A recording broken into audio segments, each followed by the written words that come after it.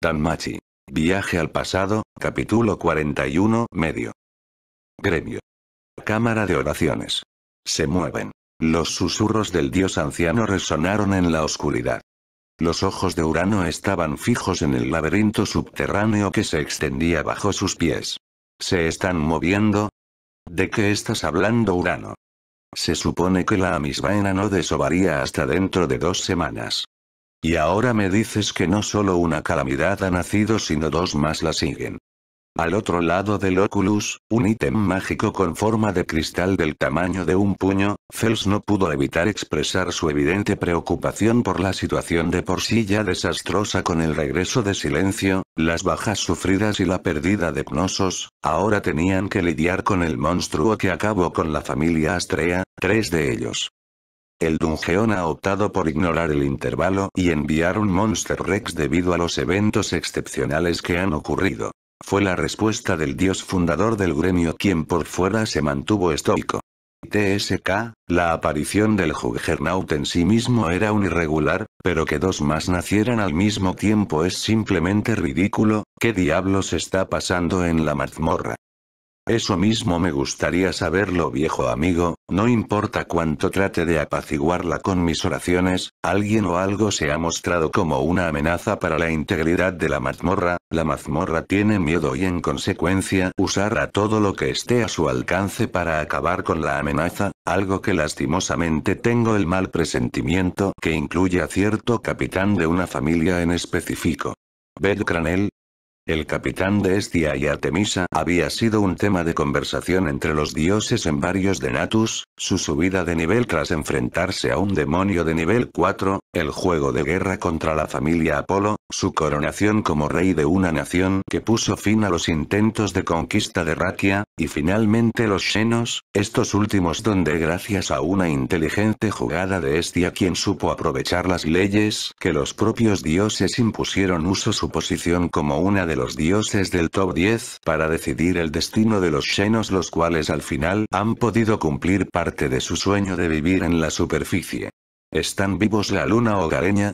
Fels había escuchado cómo la familia del conejo había salido en la captura de Vendaval junto a dos miembros de Takemi Kazuchi, la amazona de la familia Hermes, tanto el espectro como Uranos todavía quieren darle una patada al mensajero después de su treta fallida con los Xenos, pero se contuvieron después que éste diera su vital voto para permitirles vivir a los Xenos, y esas dos criaturas que trabajaban antes para Evilus, para el dios Dionisio.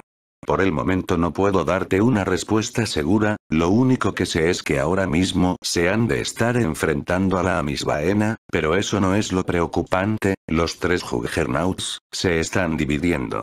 Para que apareciera el Juggernaut, el calabozo tenía que sufrir daños masivos. Cuando eso sucedía, el calabozo viviente desencadenaba una respuesta defensiva y convocaba a su anticuerpo, es decir en otras palabras, el objetivo de la existencia del Juggernaut era eliminar cualquier rastro del patógeno invasor aventureros en el piso donde se había engendrado. Imposible, puede que estén sedientos de sangre, pero dadas las implicaciones de su nacimiento es poco probable que migren a los pisos que no sean la ciudad del agua. En circunstancias normales, incluso si los objetivos del monstruo huyeran, nunca cruzaría a otros pisos para perseguirlos, algo que en este momento no era el caso. Esas serían las implicaciones normales, pero como te lo dije, han ocurrido sucesos excepcionales, la mazmorra siente que ahora más que nunca su existencia está amenazada, esperar que los Juggernauts actúen de la misma forma que aquel que masacró a la familia Astrea hace años es poco factible. Hace tantos años cuando la familia Astrea sufrió una emboscada por parte de la familia Rudra liderada por Jura, cuando el Juggernaut despertó ambas familias tuvieron la desafortunada suerte de encontrarse en el lugar equivocado en el momento equivocado donde en vez de escapar las chicas de Astrea decidieron luchar donde tras el último sacrificio de tres de las cuatro últimas sobrevivientes fue que con la magia de la elfo esta pudo espantar a la monstruosidad, Pero en este momento la amenaza o amenazas a comparación de ambas familias son mayores, en estos últimos meses cuando esos nueve demonios aparecieron sin previo aviso la mazmorra vio como sus creaciones eran masacradas sin tregua contra esas abominaciones, afortunadamente buena parte de sus números fueron mermados por el ojí rojo pero al hacerlo esa esencia que la mazmorra aborrecía y a la vez temía pasaba al cranel lo que lo convertía en una amenaza para la misma mazmorra, simples palabras lo que estaba causando este comportamiento en la mazmorra fue la presencia de demonios desde el inicio, donde sus anticuerpos debían lidiar con la amenaza, siendo uno de esos anticuerpos corrompido y debía destruir, la ironía de la vida era que esa misma sangre de demonio lo estaba haciendo perseguir a aquel aventurero combinado con la voz de su madre en su cabeza, volviendo al chico y las chicas sus principales objetivos, llegando a descender por el mismo agujero por el cual escaparon junto al Lambton. TSK. Fels apretó con fuerza los dientes de su cráneo casi agrietándolos ante la impotencia y lo confuso que era todo esto. ¿A dónde se dirigen? En este momento los tres están tomando rumbos distintos, pero sospecho que todos van al mismo lugar a los pisos profundos, el Palacio Blanco. Comprendo, en cualquier caso, si queremos controlar la situación deberíamos enviar refuerzos a la capital del agua para salvar a la familia Luna Hogareña antes de descender hacia más abajo, con la operación en finalizada podremos poner toda nuestra atención en enviar a las tropas, con tu permiso procederé con los Xenos cuanto antes. Urano se dio cuenta de la forma en cómo Fels tenía prisa por salvar a la luna hogareña, desde el incidente con los Xenos, Fels había estado dispuesto a arriesgarlo todo por el bien de Bellecranel. No es que pudiera culparlo, pues tanto el espectro como el propio Dios estaban eternamente agradecidos con aquella familia como con el propio chico al servir como el puente que unió ambos mundos, y por nunca haber traicionado a los Xenos siendo el primer aventurero que los defendió abiertamente sin importarle sus intereses personales, algo que le valió el respeto del antiguo hechicero. Haré todo lo que pueda hacer, incluso si termina en fracaso. Las cuatro antorchas rodeando el altar absorbieron la voluntad del dios. Desde su trono, Urano movió sus ojos azules hacia la oscuridad de arriba. El resto dependerá de si hay alguien más además de nosotros que está dispuesto a ayudarlos. Al mismo tiempo en otra parte de la ciudad. Crash. La taza se deslizó desde la parte superior de la mesa con un traqueteo. Hey, Sir, ¿estás bien? Mai se acercó a la chica de cabello gris claro que estaba rodeado de fragmentos de cerámica esparcidos por el suelo de madera, el objeto que había caído no pertenecía al bar, sino que era la taza favorita de una de sus compañeras de trabajo. Una elfa que no estaba allí con ellas junto al resto de sus amigas y aquel chico con apariencia de conejo quien la chica gato había autoproclamado como su rival. Sir movió su mirada de los fragmentos de cerámica destrozada hacia su mano, gotas rojas se emanaban de las puntas de sus delgados dedos, en lo más profundo de su ser no pudo evitar sentir un escalofrío. No, esto no es posible, no pudo ocurrir otra vez, Anjatsloe y Lunoire debían estar ahí para ellos, eso significa que también se vieron involucradas o algo salió terriblemente mal. Tengo que averiguarlo. Mai. Oh tierra Asir, chasquea varias veces tratando de sacar a la chica de su aturdimiento. Sir. Lo siento Mai, saldré un momento. Sin dar mayores explicaciones la chica intentó salir de la taberna para cambiarse y dirigirse a la mazmorra, pero a la mitad del camino fue confrontada por Mía. Mía. Ah no, no vas a ningún lado hasta que me expliques el porqué de esa expresión. Sir. Lo siento mamá mía, pero no hay tiempo, dijo intentando pasar pero fue atrapada por el poderoso agarre de la mujer mayor. Mia aunque fuera una enana era uno de los aventureros más fuertes de la ciudad, siendo la antigua capitana de Freya y una nivel 6, por lo que ya debías hacerte una idea de su fuerza, y por su agarre Sir sabía que la mujer no la dejaría ir hasta conseguir lo que buscaba. Mia. Sabes, normalmente no me interesa meterme en lo que sea que le pase por su cabeza a los locos fanáticos de Freya, entrecierra la mirada a la chica quien cambia su expresión alegre por una seria, pero no me gusta que mis propias chicas me oculten información. Mia sabía que el Unosir sabía más de lo que mostraba, y le iba a sacar respuestas ya sea de la forma fácil o la difícil, pero antes que pudiera comenzar el interrogatorio las puertas del bar se abrieron de golpe y de estas ingreso Estia seguida por Artemisa. Mai. Oh, pero si son las diosas de Bella, ¿qué las trae por aquí? Si desean pedir lastimosamente no estamos abiertos todavía, como pueden notar nos falta personal. Artemisa. No venimos precisamente por la comida, gustosamente habríamos venido si estuviera Orión, pero él no está ahora, dijo sonando un poco más seria que de costumbre, pero en ese semblante de seriedad también verás la preocupación que tenía. Mía notando el semblante de Artemisa suelta a Sir y se pone frente a ambas diosas. Mía. Desembuchen. Estia. Sonara paranoico, pero hace poco una de las dependientes de Miach tuvo una premonición que involucraba a nuestra familia Y, la señorita Elfa. Mía entrecierra la mirada. Mía. Sé más clara, dices que una adivina tuvo un sueño que involucra a dos de mis empleados, si no dices algo con sentido las echaré a ambas a patadas poco me importa que sean diosas de una familia influyente. Artemisa. No es una adivina, más bien diría que es un oráculo, y tengo la certeza de que el sueño de Cassandra está relacionado con lo que sea que está pasando en la mazmorra, aparta la mirada apretando el puño, Karin hace unos momentos tuvo un episodio, no sé lo que significó, pero dijo que él venía. Mai. Él. ¿Quién? Preguntó confundida metiéndose donde no la llamaban. Artemisa. No lo sé, pero está muy asustada, Diant ahora misma está en nuestra sede tratando de calmarla, sé que lo que les dije no tiene mucho sentido, pero por favor créanme que cuando les digo, lo que sea que está pasando en la mazmorra pone en peligro a Orión, mi familia y la de Estia, y griega. Estia. Tus empleadas. Mia miró a ambas diosas buscando algún atisbo de mentira, no sabía qué creer, pero cuando dijo que sus empleados estaban en peligro mortal hizo que algo en Mia despertara. Estia. Sonara repentino esto, pero, necesitamos refuerzos para enviar al Dungeon y saber qué rayos está pasando. Artemisa. Los dependientes de Miach, Daphne Cassandra Luan hasta la señorita Naaza se ofrecieron, pero no será suficiente, ahora mismo Miach junto a Naaza deben estar hablando con la capitana de Hefesto. Mía. Iré. ¿Eh? Mía. Si dices que mis empleados están en peligro mortal, sea cual sea la razón no pienso quedarme de brazos cruzados y esperar lo peor, personalmente iré hasta allá abajo y los traeré a rastros todo el camino de regreso antes de regañarlos por preocuparme en primer lugar. Dicho esto, la enana se retira para recuperar su vieja ropa de aventurera dejando atrás sin palabras a las presentes. Estia. Ok, no me esperaba esto, pero es bueno contar con su ayuda de todas formas, dijo con una risita nerviosa. Sin que Estia se diera cuenta, no vio como Sir que vio y escuchó esto también se retira con el mismo objetivo en mente que la enana. Mazmorra.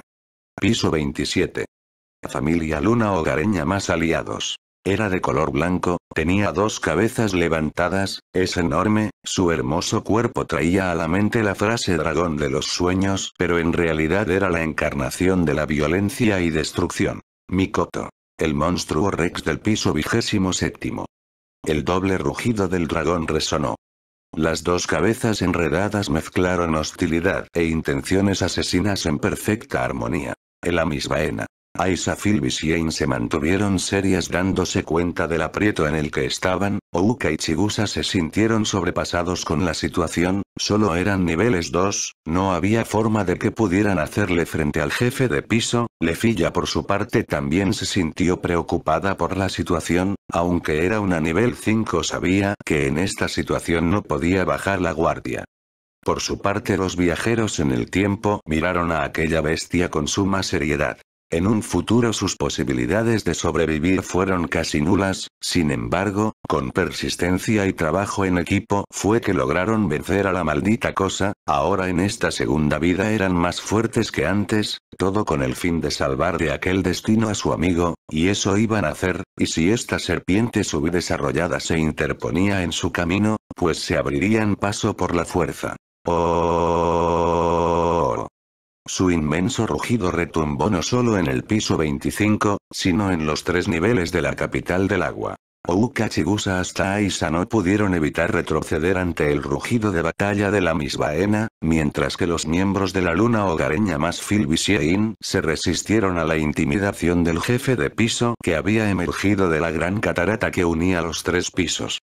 Cuatro de los viajeros del tiempo ya se habían enfrentado en el futuro a la misma antes por lo que su grito tenía nulo efecto en ellos, Wiene estaba realmente asustada pero ese miedo que sentía por aquella bestia no se comparaba con el miedo a perder a su padre, sintiendo como su mamá Aruime la tomaba del brazo, pudo armarse de valor parándose junto a su familia, por su parte las tres elfas ya habían experimentado el sentimiento de desesperación primero al enfrentarse al Vapomet para luego enfrentarse a Alfia, si comparabas a la misma con esos dos sobre todo con aquella mujer parecía más que nada un lindo delfín bebé. Originalmente su misión había sido el encontrar y dialogar con la elfa renegada, sin embargo tras un extraño comportamiento entre la mayoría de los miembros de la luna hogareña el plan cambió y se separaron de su miembro más fuerte, Cranel, cuando se dividieron su grupo se encargó más que nada el retirar unos explosivos que habían sido puestos con anterioridad por los miembros de Evilus. Ahora la pregunta que tenían muchos era cómo ellos sabían sobre el plan del miembro de Rudra, no obstante ocurrió algo impensable pues cuando retiraron todos los explosivos ocurrió una explosión mucho mayor que se hizo sentir por toda la ciudad del agua sino hasta la superficie, pero ese fue solo el inicio de sus desgracias pues poco después la mazmorra entera se sacudió donde lo siguiente que pasó se les quedaría grabados en sus cabezas, los rostros de desesperación de aquellos cercanos al conejo con la pequeña Sheno sujetándose la cabeza diciendo una y otra vez el viene mientras se escuchaba de fondo aquel sonido de un lamento. Y ahora aparecía frente a sus ojos un irregular. Ouka. ¿Ese realmente es, el jefe de piso de los pisos inferiores? Era el siguiente monstruo Rex después del Goliath del piso 17. Chigusa, quien pertenecía a la familia Takemi Kazuchi miró aturdida al monstruo mientras escuchaba la pregunta de su capitán. Estaba mirando hacia arriba desde el enorme lago que era el estanque de inmersión del piso 25. Tuvo que estirar su cuello para poder observar la majestuosa forma que se elevaba a más de 20 metros de altura. Siendo docenas de veces más ancho que un orco, realmente estaba a la altura de su título de jefe de piso. La figura cubierta de escamas blancas ciertamente era enorme, pero también evocaba cierta magnificencia. Sin embargo, la luz en sus ojos innegablemente era la de un monstruo o el destello de un ser atroz que abandonó toda lógica para complacer su instinto de destruir. Un dragón de dos cabezas. Las dos cabezas, que parecían moverse de forma independiente, eran particularmente notables. Los largos cuellos se separaban en el punto donde emergían del cuerpo. Cada cuello terminaba en una cara inconfundiblemente bestial, cubierta de escamas de dragón tan grandes como petos. El par de ojos de la cabeza izquierda eran azules, mientras que los de la derecha eran rojos. Mientras la tenue luz de los cristales de la capital del agua se reflejaba en su cuerpo blanco, el dragón de dos cabezas lentamente dirigió su mirada amenazante a la sustancia extraña que amenazaba a su madre, el calabozo. En otras palabras, estaba dirigida a los aventureros. Oh. La cabeza de ojos azules exhaló un aliento horrendo. Llamas azules fueron lanzadas, chamuscando el aire, espantosamente, en el instante en que algunas llamas tocaron la superficie del estanque de inmersión, una tremenda ráfaga de vapor estalló hacia arriba. Los aventureros reaccionaron ante cómo las abrazadoras llamas avanzaban hacia ellos, vaporizando el agua mientras avanzaban. Ese es su ataque Bluna Palm, no lo respiren. Fue la advertencia de Phil Visiein. Dispérsense. Aisa grito donde sin dudarlo todos se apartan del aliento de la misma Viene.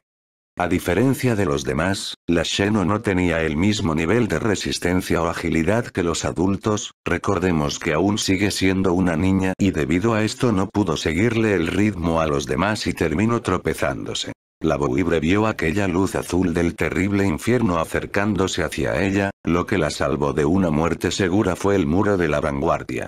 Guaara. Aruime barra Mikoto barra Chigusa. Ouka. Wiene. Ouka Dono. Cumpliendo su deber como el tanque del grupo, Ouka empujó hacia adelante su gran escudo. El aventurero de tercera clase nivel 2 en lugar de bloquear las llamas de frente, sostuvo su escudo en un ángulo. Aparto del camino a la hija de su amiga con su espalda, saltó a un lado y desvió el aliento de fuego. Su pensamiento rápido puso en exhibición las habilidades que había adquirido en la expedición actual, así como su experiencia acumulada. U. Ouka miró la dura superficie de su escucho que permanecía intacto con algunas llamas danzando sobre su superficie. Ouka. Por un segundo pensé que no lo resistiría. Aruime. Ouka, ¿estás bien?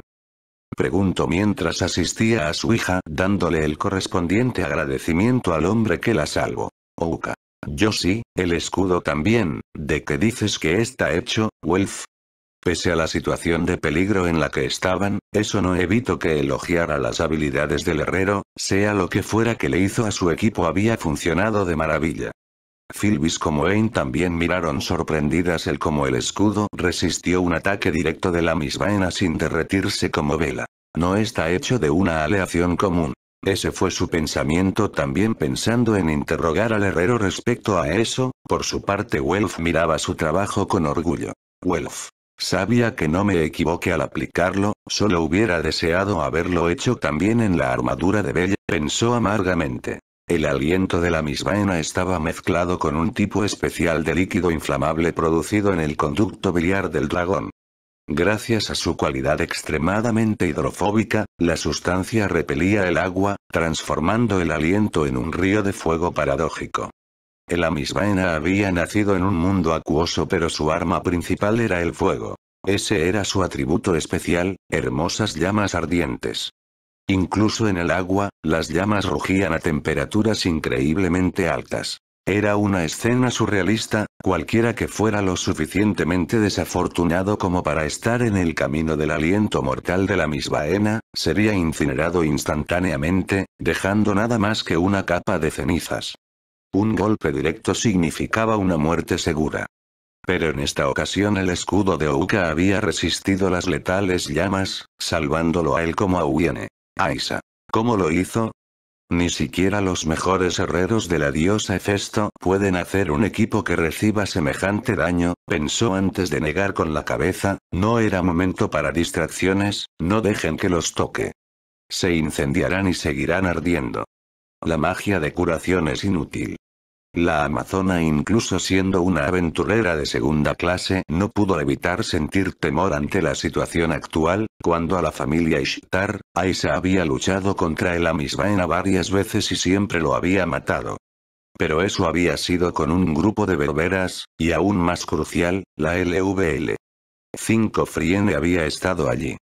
El monstruo era tan feroz que generalmente requería que más de 20 berberas trabajaran juntas para derrotarlo. Su equipo actual, aunque no podía decirse que era débil, contando con tres aventureros LVL-3, 4 LVL-2, 3 de primera clase, no estaban cerca de tener la misma cantidad de la familia Ishtar, ese factor no importaría si tuvieran ahora mismo a Belkranel, un aventurero que rompe probabilidades en contra y las vuelve a su favor.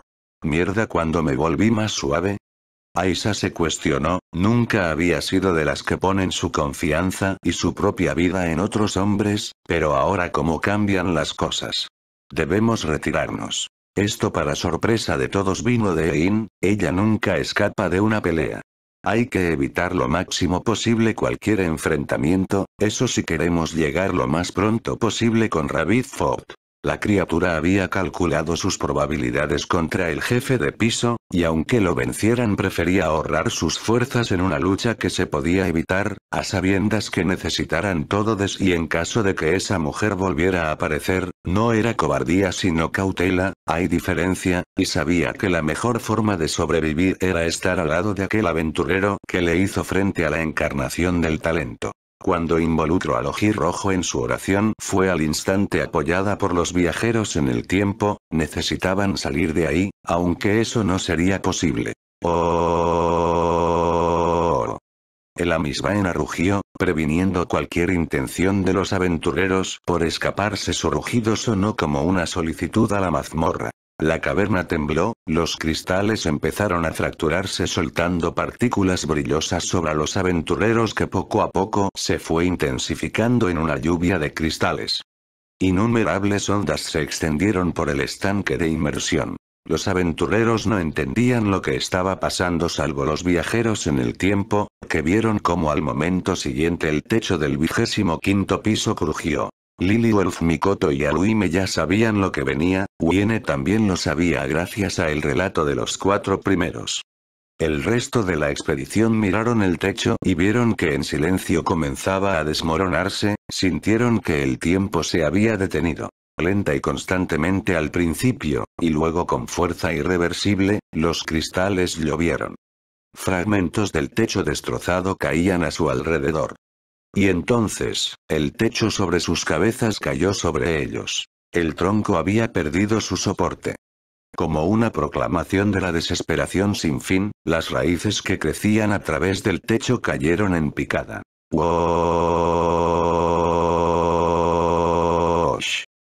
Las raíces rasgaron el aire con un estruendoso chasquido y cayeron hacia el estanque de inmersión. Al descender, rozaron las paredes de la caverna e incluso golpearon la gran catarata con un horrible estruendo, como si el inmenso dragón arrastrara sus garras por los acantilados y la catarata. Los iguazu que acechaban detrás de la catarata fueron arrastrados por los escombros caídos. Sin tiempo para escapar, las brillantes golondrinas escarlatas fueron aplastadas y arrojadas al estanque de inmersión, los restos de sus alas arruinadas se dispersaron por todas partes. Carajos, cúbranse. ¿A dónde? Entre la desesperación escuchan un EM haciendo que vean a Lefi y a Phil y cayeran de nueva cuenta que tenían magas con ellos, se apresuraron a sus lados permitiendo que entre las tres crearan una barrera a su alrededor el suficiente tiempo para salir ilesos de esto. La masa de raíces finalmente se estrelló contra el suelo. Mientras rebotaba violentamente arriba y abajo por el impacto. Una tormenta de fragmentos de cristal voló desde las paredes y el piso, sacudió el estanque de inmersión y fue tragada por las olas causadas por las ardientes llamas azules. El impacto causó que los aventureros se tropezaran y perdieran el equilibrio mientras las elfas gastaban grandes cantidades de mana para que su barrera resistiera la avalancha. Tras unos eternos segundos más todo había acabado y se dieron cuenta que aún estaban vivos, y necesitaron otros segundos más para darse cuenta del nuevo entorno que se había creado. ¿Qué? Una enorme cúpula formada por las enormes raíces del árbol colosal se elevaba desde el centro del lago con el estanque de inmersión como una jaula de pájaros aplastada, el montón de raíces retorcidas había aterrizado entre la orilla donde se encontraban los aventureros y la pared. Toda la caverna del piso 25 estaba cubierta por las raíces caídas que una vez se extendieron por el techo. Tomados con la guardia bajo ante este suceso repentino, reaccionaron de nueva cuenta ante el grito de Lefilla. Espera. Perdimos nuestra ruta de escape. Ante el grito de la elfa todos se dieron de nueva cuenta que, efectivamente su ruta de escape había sido bloqueada. Una astilla larga y delgada que debía provenir de una raíz masiva había perforado la pared y demolido sin piedad el pasaje de conexión. Lo que significaba que los aventureros habían perdido la salida de la caverna. ¡Oh! El dragón de dos cabezas innegablemente todavía estaba en el centro del lago. Movía cada una de sus cabezas alternadamente, sin la menor señal de confusión o angustia. Las raíces se tejieron como una red, bloqueando su escape. La tapa en forma de cúpula que ahora cubría el estanque de inmersión realmente era una jaula. Filbis. Nos encerró, quitándonos nuestra libertad igual que una ave enjaulada, o la cruel ironía. Ouka. No podemos escapar. Chigusa. No podemos. Todo el color desapareció de los rostros de Ouka y Chigusa. Ahora les era imposible abandonar la capital del agua. Ni siquiera podían escapar al piso 26. Su única opción ahora era enfrentar al dragón, que era la encarnación de la desesperación. Una batalla obligatoria exigida por el calabozo. Oh. Como diciendo que el escenario estaba listo, el Amisbaena lanzó una corriente de llamas azules. Los aventureros tuvieron que saltar para no ser achicharrados por el fuego infernal que quemaba agua y cristal por igual. Las llamas se extendieron en la orilla noreste donde se encontraban. Nuevamente, la temperatura en el piso se disparó. Llamas ardían a su alrededor como si estuvieran dentro de la olla del diablo. Preparen sus armas. No tenemos más remedio que luchar. No era sorprendente que Aisa fuera la primera en recuperarse de la conmoción siendo subseguida casi al instante por Phil Shane. Mientras la amazona blandió su podao protegiendo a Aruime detrás de ella, Philbis reveló su báculo de la misma forma colocándose protectoramente con Lefilla. No había forma de retirarse. Tenían que luchar, esto lo sabían muy bien esas tres, sin embargo cuando vieron detrás de ellas al resto, pudieron ver el atisbo de duda, miedo y perdido de los aventureros. Nadie presente era tan estúpido como para ser ajeno a la diferencia en el poder de combate. El Amisbaena tenía un potencial igual a un LV. 5. Aisa no lo sabía, pero en el papel, estaba en el mismo nivel que el Goliath negro superior a los primeros dos demonios que el entonces albino derrotó por una pulgada de diferencia. Pero inferior a los otros demonios con una fuerza superior al LV. 6.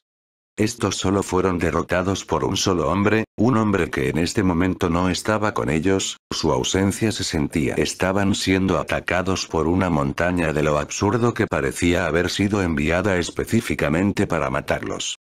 Y su amigo estaba en quién sabe donde siendo cazado por algo que tenía asustados al Croozo, la Payum, la Samurai, la Renard y la pequeña Boibre. Esto de por sí rompería la voluntad de cualquiera, esta no era la mazmorra que conocían, era algo impredecible. Los dos miembros de Takemi Kazuchi no tenían fuerzas para luchar, Lefilla volvía a dudar de sus capacidades como aventurera, el resto de la luna hogareña tenía la cabeza metida más en la seguridad de su capitán que en lo que tenían de frente. No tenían suficiente moral. No tenían un pilar alrededor del cual apoyarse. Era sorprendente lo poco preparado que estaba este equipo para una batalla contra el jefe de piso, considerando que quienes sabían lo que ocurriría no se prepararon correctamente al centrarse más en evitar los eventos que ocurrirían de una forma u otra. Incluso Aisa quería tirar la toalla. Este es un día desafortunado. Si tan solo Bello Cranel estuviera aquí. Casi dijo las palabras en voz alta cuando dándose cuenta de repente su rostro se sonrojó de rabia. Vuelve a tus cabales a Isabelka. ¿Desde cuándo eres el tipo de mujer sin agallas que confía en un hombre? Maldijo ese pensamiento pasajero, avergonzada de sí misma. Como una amazona de sangre pura, no podía tolerar tales quejas. Ella dejó escapar un grito de batalla indomable, endureciendo su resolución. Ella había luchado contra este monstruo antes. Se había enfrentado a su brutal y absurda realidad varias veces y la había superado. Esa, por encima de todo, era su arma principal contra el desaliento. Pero no podía decirse lo mismo de la mayoría del resto del equipo. No tenían la fuerza de Aisa o tanta experiencia superando la línea entre la vida y la muerte como Philip y Swain. Y sin eso, no podrían contener la desesperación invadiéndolos. Estaban mirando las fauces de la muerte. La fuerza de sus recipientes estaba siendo probada. La situación puso en exhibición la importancia de una figura como Belle que podría actuar como el pilar de apoyo. Para ellos Belle Cranel es un héroe. Era un hombre débil y honesto de carácter, pero cuando reunía el coraje que tenía y desafiaba la desesperación misma, se convertía en un rayo de luz impulsando a todos los que lo conocían. Belcranel era tan importante para ellos que ni siquiera Aisa o cualquier otro aventurero podía llenar su lugar. Finn, Otar, Edin, Gareth, Rivería, Tsubaki entre muchos ejemplos de veteranos que contaban con la experiencia no tenían lo que le sobraba al rojo, su forma de conectar con las personas. Necesitaban un pilar para tomar el lugar de Bell. Una voz para impulsarlos hacia adelante. En este momento, no tenían un pilar. Pero, tenían llamas. ¡Bang! Aisa junto a los demás giraron la cabeza hacia el ruido metálico que se empujaba contra el suelo de cristal. El chico pelirrojo al final del equipo estabilizó su gran espada con ambas manos, con su kimono de trabajo todavía balanceándose. A sus costados podías ver las miradas tranquilas y determinadas de una Yamato, una rubia Renard, una Payun y una Sheno. La mirada de la mitad del grupo estaba sobre ellos, incluso la mismaena dejó de moverse por un momento para fijar sus ojos sobre aquellos aventureros que, no parecían temerle. Todavía mirando hacia abajo Wolf suspiró ruidosamente. Su rostro estaba goteando sudor, pero cuando se giró hacia Lily a su lado, su expresión era indiferente. Wolf. Díganme algo todos los que están aquí, señala uno por uno a los miembros de su familia para luego seguir con los demás, ¿es su primera vez? La primera vez que van de aventura sin Bella. Ante esa pregunta muchos no saben qué responder, Phil y Shane se miran dudosas preguntándose si debían responder, nunca se involucraron con el conejo hasta aquel encuentro con los familiares de este y luego la lucha contra Alfia, esas podrían considerarse como las únicas aventuras que tuvieron. Wolf. No podemos pelear sin el más fuerte. No podemos pelear sin nuestro héroe. ¿Y quién lo decidió? El grito de Wolf llega a los corazones de todos los presentes. Wolf. Esa no es la clase de personas que somos los aventureros, ¿verdad? Dejo la oración al aire mientras daba unos pasos al frente. Lily. Por supuesto que no Welf, dijo también dando un paso al frente, siendo seguida por los demás integrantes de su familia, muchos creen que sin el amo Bell nosotros no somos nada, pues se equivocan. Yo quien he estado a su lado más tiempo.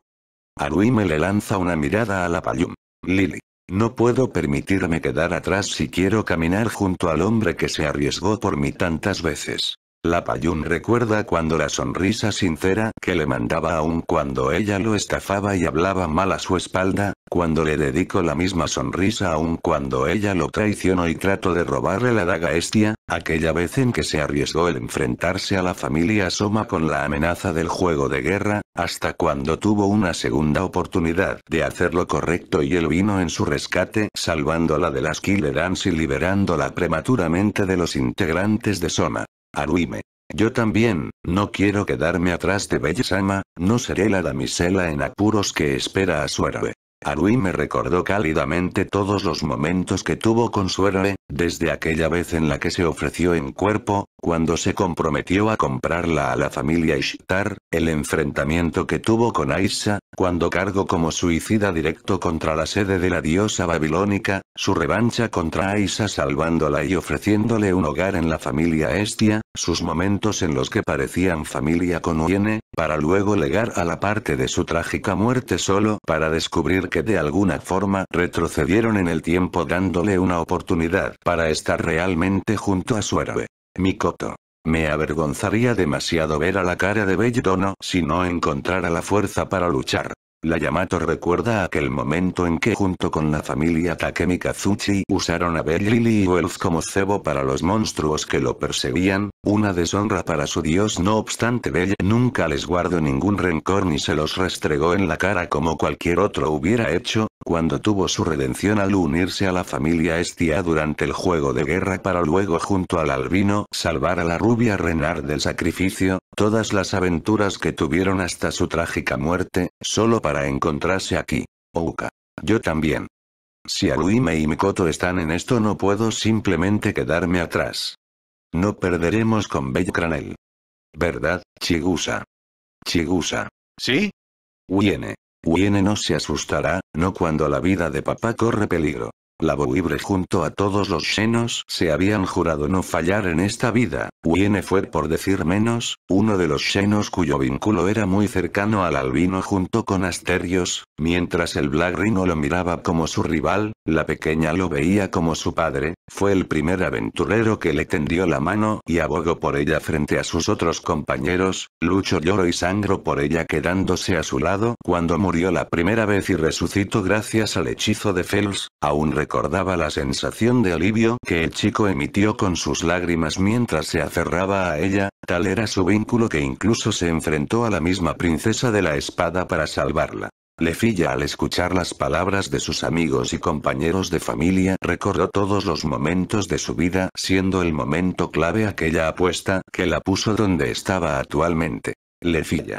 Ni modo, debemos apresurarnos si queremos salvar a ese idiota imprudente, dijo suspirando no pudiendo evitar sonreír, aunque no pudiera tener un momento de tranquilidad sin que el cielo se le venga encima podía decir que las risas no faltaron. El discurso del herrero junto con las palabras de aliento del resto de viajeros levantó la moral sobre todo el grupo. Aisa. Nada malignis, tú sí sabes cómo hacer discursos igual de cursis que tu capitán, pone su mirada al frente, ya he luchado contra este feo lagarto una o dos veces. Puede que nos falte la fuerza para matarlo, pero supongo que eso no les importará a ustedes, vamos chicos. El trabajo de un herrero era traer fuego a las armas. Y el trabajo de los aventureros era usar esas armas para matar a los monstruos. Las llamas tenían los rostros tanto de los aventureros como del herrero. Sí. Con ambas entidades que formaban parte de un mismo ser no pudieron evitar sorprenderse por las llamas de determinación que emanaban de aquellos cercanos al conejo. Filbis. ¿Recuperaron la esperanza? No, siempre la tuvieron. Ey. ¿Qué familia de lo más peculiar nos tocó? Su capitán sabe meterse en problemas y el resto lo sigue sin dudar. A pesar de lo malo que eso sonó ambas criaturas no pudieron evitar sonreír sintiendo como aquel sentimiento se les contagiaba. Exaltados por el fuego que el herrero había encendido, los aventureros dirigieron sus ojos hacia adelante y vieron al monstruo. Se encontraron con los ojos del dragón de dos cabezas que los esperaba. ¡Oh! Mikoto. Lili Dono. Instrucciones. Lili. Mikoto mantente en la guardia media y comienza el cántico, Welfouka Aisa los necesito en la primera línea y que mantengan ocupados a la misbaena, Lefilla y Chigusa las necesito aquí en la retaguardia junto a Wine y Aruime, ordenó la Payuma antes de mirar a las dos criaturas. Lily. Ustedes, bueno, ¿qué tan buenas son en el combate cercano y con magia a distancia? Philbis y Ain se miraron. Ain. ¿Tienes alguna arma que puedan prestarnos? Lily. Welf. Welf. Yare Yare, ¿de cuál quieren? Tengo tres espadas mágicas crozo de rayo, fuego y hielo, dijo desenfundado de su espalda una manta de la cual saca las tres espadas. Ain toma la espada de rayo mientras Philbis la de fuego dejándola de hielo para Welf. Lily. Supongo que esto resuelve los cabos sueltos, aunque me hubiera gustado tener a curanderas reales como Cassandra o Airmid, ni modo, hay que trabajar con lo que se tiene. Lily. Aruime necesito que uses tu magia en Welf, Pouka, Mikoto, Chigusa y Aisa. Aruime. Wai, Kokonoe.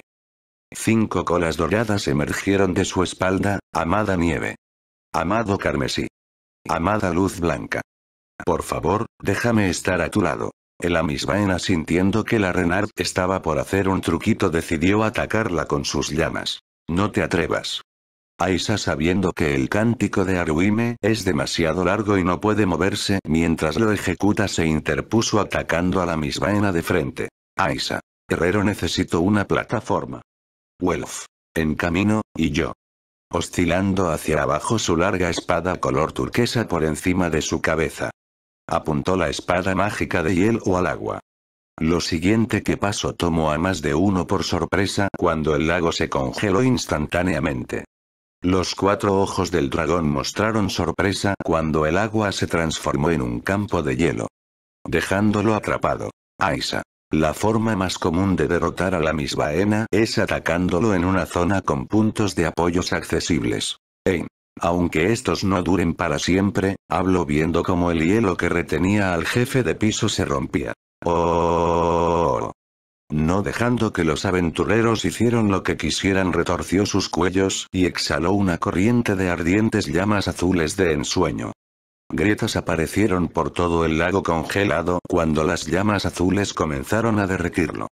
El sólido campo de hielo se estaba convirtiendo rápidamente en una multitud de islas. Para fortuna de los aventureros el ataque de la misbaena no había frenado el avance de la amazona quien comenzó a ejecutar su cántico recurrente. Ven, campeón del valor. Lo apunta con su arma en un claro intento de provocarlo. Oh. El dragón se concentró en Aisa, quien había comenzado a activar su magia imposible de ignorar y ahora estaba actuando como señuelo. La cabeza derecha del dragón rugió como para estimular a su contraparte izquierda, que respondió escupiendo llamas azules. Aisa saltó fuera del camino justo a tiempo, haciendo una mueca por el calor mortal, y rodeó al jefe de piso en un amplio arco. Esquivando el torrente de fuego del enemigo, continuó cantando sin pausa antes de finalmente desatar su magia en lugar de un saludo. Ella Cayos.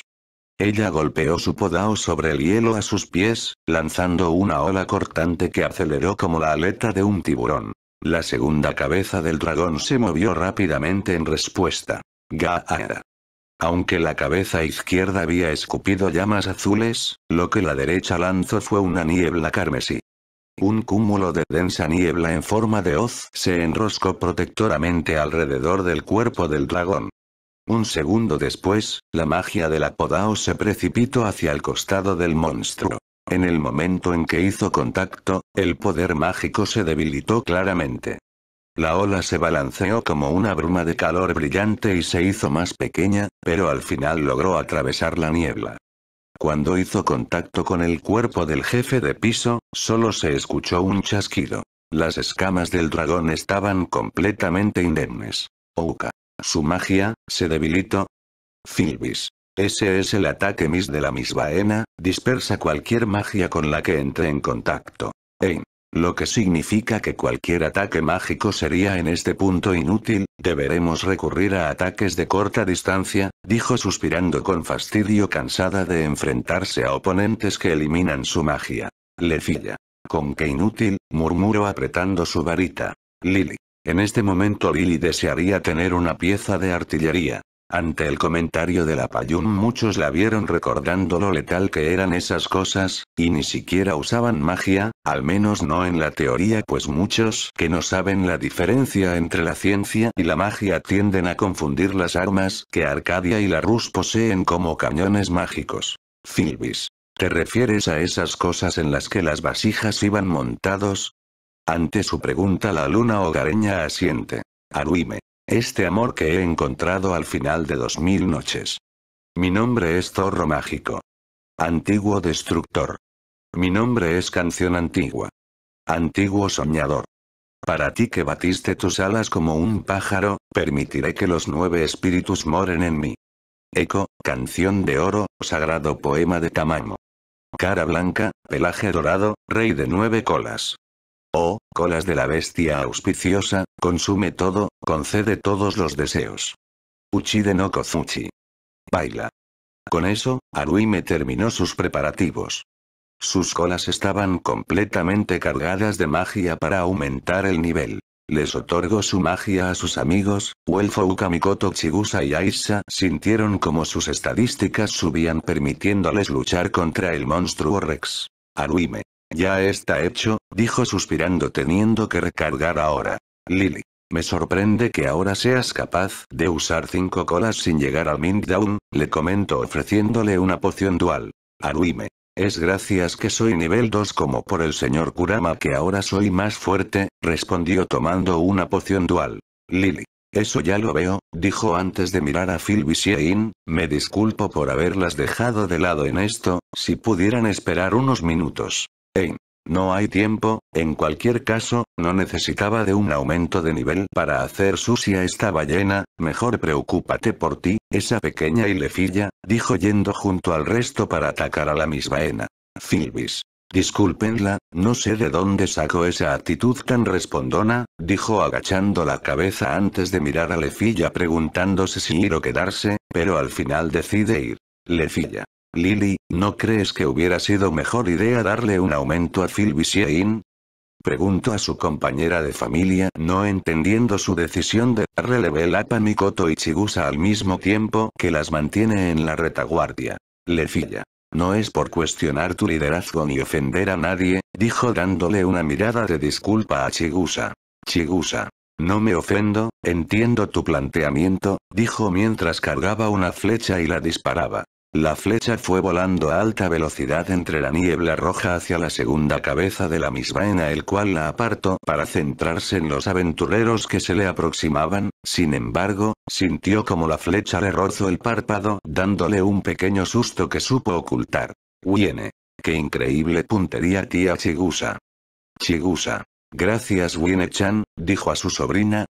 Aún no sabía cómo tomar el que la niña le dijera así, era extraño, todavía era demasiado joven para que le dijeran tía, la hacía sentir vieja. Chigusa. Yo también estoy sorprendida de lo lejos que llego, dijo viendo su arco el cual había sido mejorado con una aleación de un raro metal llamado mitril lili.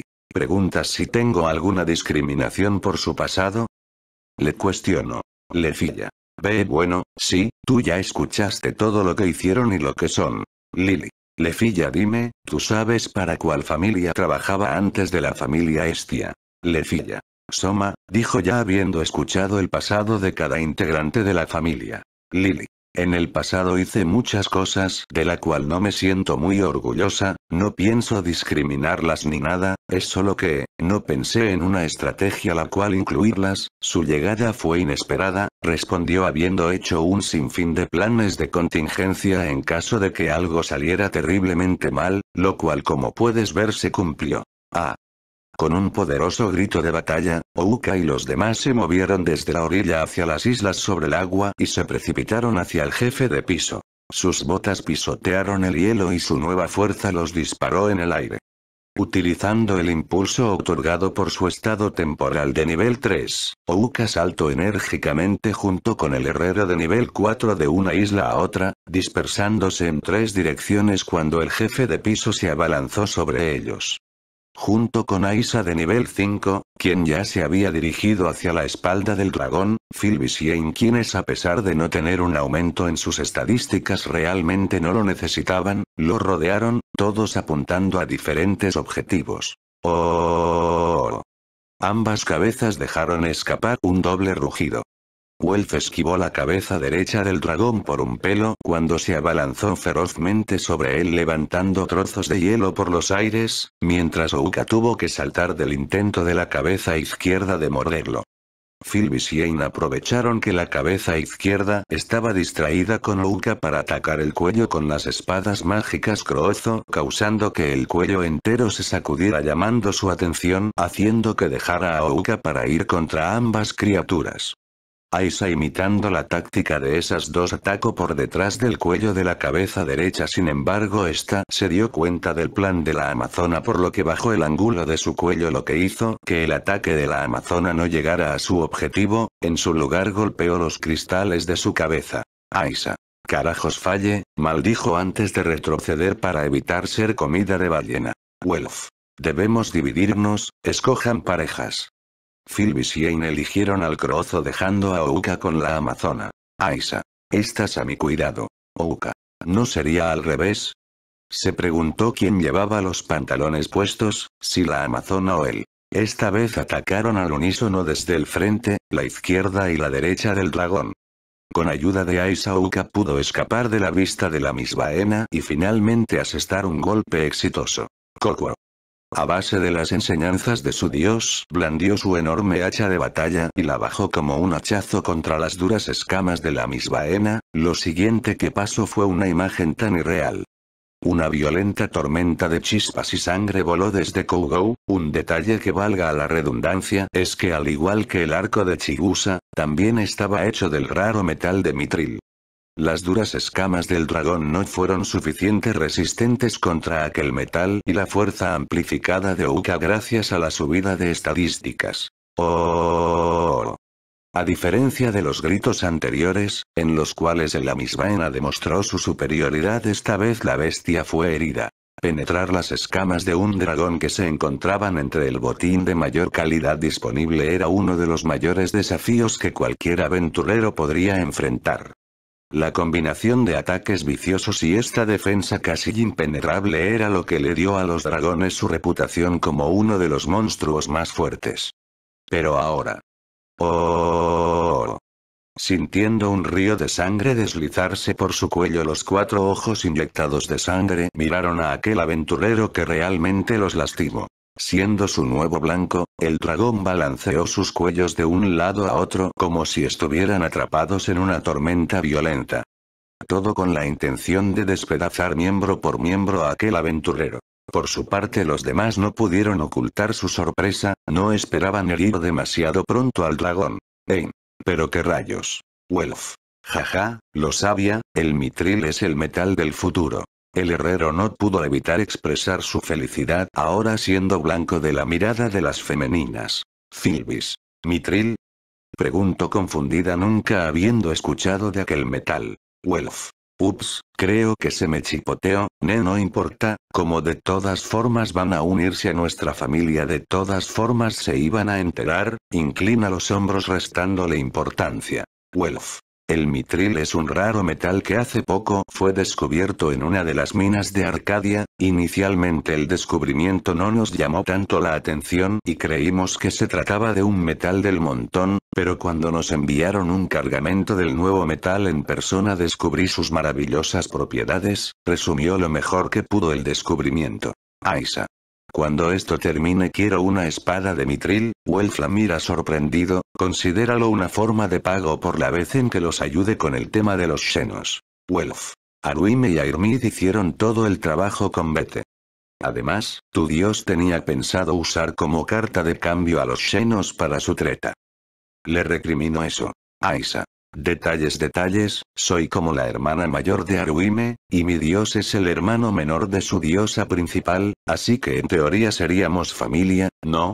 Wolf quiso replicar, pero se quedó sin fundamentos, ¿quién diría que la amazona tenía neuronas funcionales cuando no estaba buscando hombres con los cuales acostarse, coger y domarlos? Chicos algo de ayuda. Desde la distancia Ouka gritó a sus camaradas el que no se quedarán parados y lo ayudaran para no quedar como brocheta. Dejando su conversación fueron a socorrer a su compañero, cuando lograron alcanzarlo apareció una neblina azul alrededor de la boca del dragón. El aliento se acerca. Philbis y Ain gritaron en señal de advertencia. Nuevas olas de ardientes llamas azules se precipitaron por el campo de batalla. En un abrir y cerrar de ojos, un trozo de hielo flotante de 10 metros se derritió en nada y la superficie del lago se incendió. Las olas de vapor que se elevaban desde la trayectoria de las llamas azules habían hecho que todo el piso fuera increíblemente cálido y húmedo. Cambió el ambiente acuático normalmente frío en un sauna o más exactamente, en un caldero de llamas azules. Ouka. No puedo respirar. Viene. Me arde la garganta. Cada vez que los aventureros luchaban contra el Amisbaena, la capital del agua sufría esa transformación. Aisa Philbis y Ain ya estaban acostumbradas debido a sus experiencias personales, pero los demás eran diferentes. Este bautismo a vapor a pesar del hecho de que no era un piso volcánico era desagradable incluso para los aventureros de clase alta y erosionaba su capacidad de concentración. Y cuando lograron recuperarse, todavía estaban significativamente debilitados. Lefilla. Esta niebla carmesí, no solo bloquea la magia. También interfiere con los ataques al reducir la visibilidad. Lily. Combinado con el calor y la humedad, esto es horrible. Elfa y Payun concordaban en algo, y era que las cosas estaban por ponerse cuesta arriba. Ain se encontraba a cierta distancia de la línea del frente, observando atentamente a la misbaena. Si entraban en combate cuerpo a cuerpo, la niebla que ocultaba a su enemigo actuaba como una cortina que les bloqueaba la vista. Aún le sorprendía que el primer golpe de Ouka haya resultado con tanta efectividad hasta lograr hacerlo sangrar, las escamas del dragón eran tan resistentes, y el tiempo de su ataque mixto aún no se había disipado. En simples palabras había sido un golpe de uno en un millón. Tenemos puntos de apoyo sobre los cuales apoyarnos, pero estas plataformas de hielo no son confiables comparadas con la tierra sólida. Gracias al agua que caía de las gran catarata en el lado norte de la caverna, los innumerables fragmentos creados cuando el hielo se rompió eran como inestables islas flotantes. La distancia entre ellas variaba constantemente, así que era imposible que los aventureros se movieran como quisieran. Si no fuera suficiente esas dos cabezas se mueven demasiado rápido para un jefe de piso enorme. Su velocidad parecía imposible para un monstruo de clase ultra grande, aunque no se comparaba con abominaciones como el Vaponeto Alfia, usaba hábilmente esa velocidad tanto para recopilar información como para interceptar ataques. Era como una cereza extra sobre las poderosas llamas azules que parecían incinerar todo lo que tocaban y la barrera de niebla que bloqueaba la magia. ¿En, ¿En qué rayos me metí? Se cuestionó preguntándose si era demasiado tarde para arrepentirse por las decisiones que ha tomado. Filbis. No encuentro ninguna apertura. Aisa. Entonces hagamos una. Aisa se había deslizado más allá de los afilados dientes del enemigo con su confianza habitual y asestó un golpe dirigido al espacio entre las escamas protectoras, pero logró extraer solo unas pocas gotas de sangre. Furia se filtró de los ojos del jefe de piso hacia la amazona que lo había lastimado. Ambas cabezas rugieron una tras otra, y al momento siguiente el dragón se hundió bajo la superficie del agua. La aprensión consumió a los aventureros mientras veían al monstruo desaparecer bajo el agua. Ouka. Se sumergió. Welf. Esto no es bueno, todos retrocedan. Mikoto. Cuidado va a emerger. Ante el grito oportuno del herrero y la advertencia de la Yamato todos por reacción se apartaron de su camino justo a tiempo. Oh.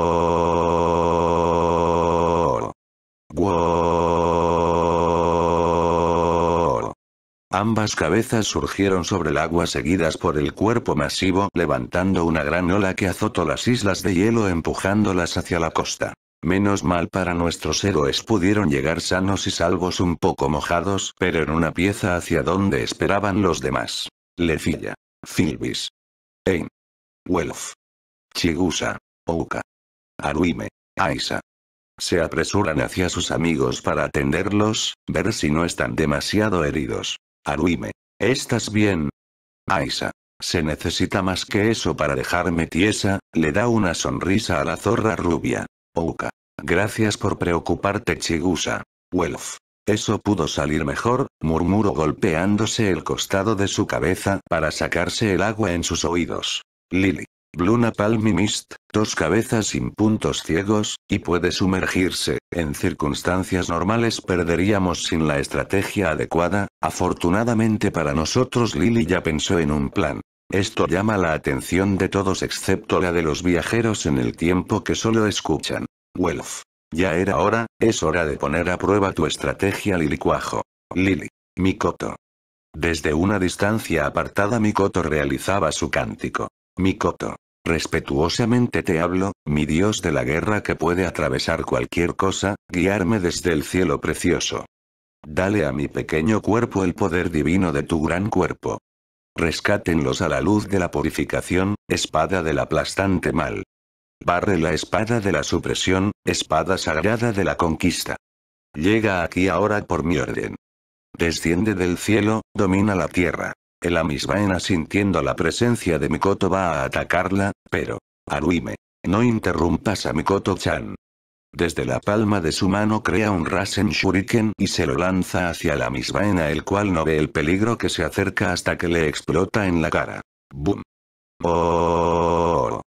Perdiendo el equilibrio intenta sumergirse sin embargo ya es demasiado tarde cuando Mikoto lanza su hechizo. Mikoto. Shimbuto Usei Futsu no Mitama.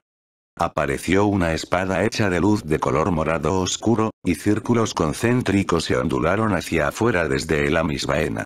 La gravedad a su alrededor se volvió más pesada lo que hizo que sus dos cabezas golpearan el agua sin embargo con un asombroso tiempo de reacción, la cabeza derecha lanzó una nueva capa de niebla carmesí.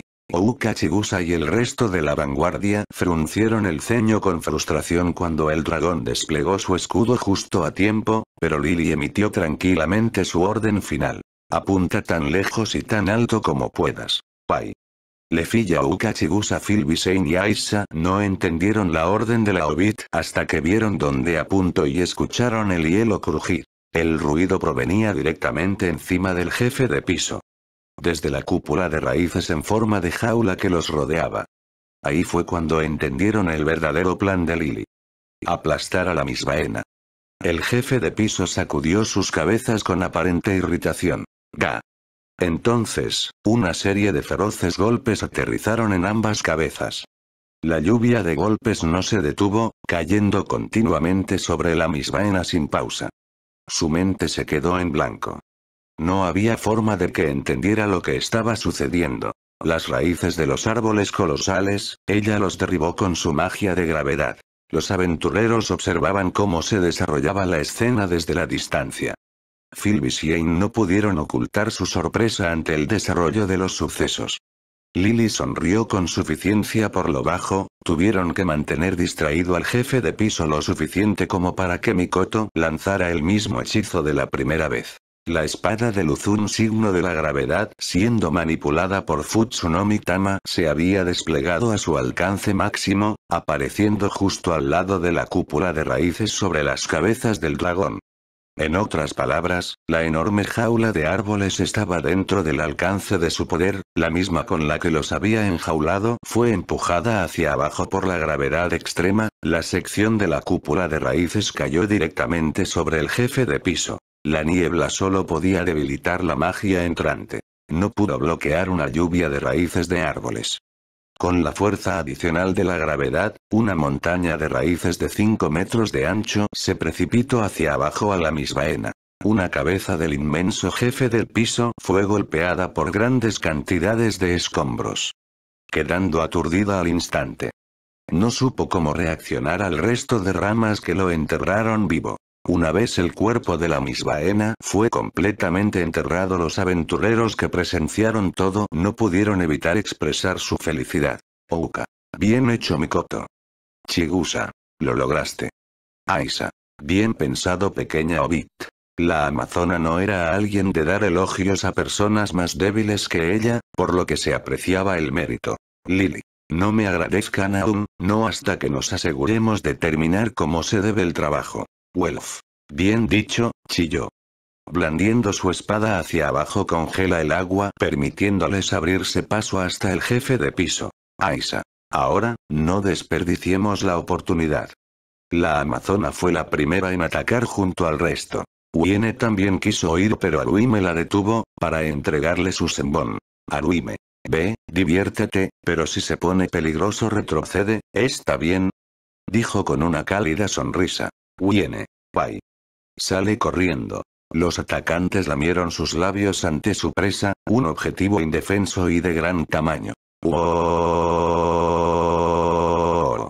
En el instante en que Futsunomi Tama se disitó, Welf cortó, Ouka aplastó, e imperforó, Filbis chamuscó, Wiene clavo y Aisa destrozó. Las escamas del dragón volaron bajo el ataque de la gran espada y el hacha de batalla. La sangre brotó de una lluvia de empujes de daga, la cuchilla se abrió camino entre las escamas. Un trozo de carne se desprendió de un cuello cuando el filo de la podao penetró profundamente.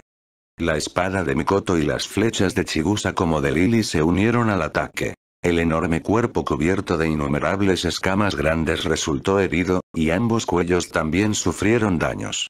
No mucho después, el dragón se recuperó de su aturdimiento y rugió indignado por el ataque total que los aventureros habían lanzado. Viene. Moros en la costa, Ouka y Aisa la miran no entendiendo lenguaje marinero. Welf. Lo que quiso decir Riene fue, cuidado monstruis marinos.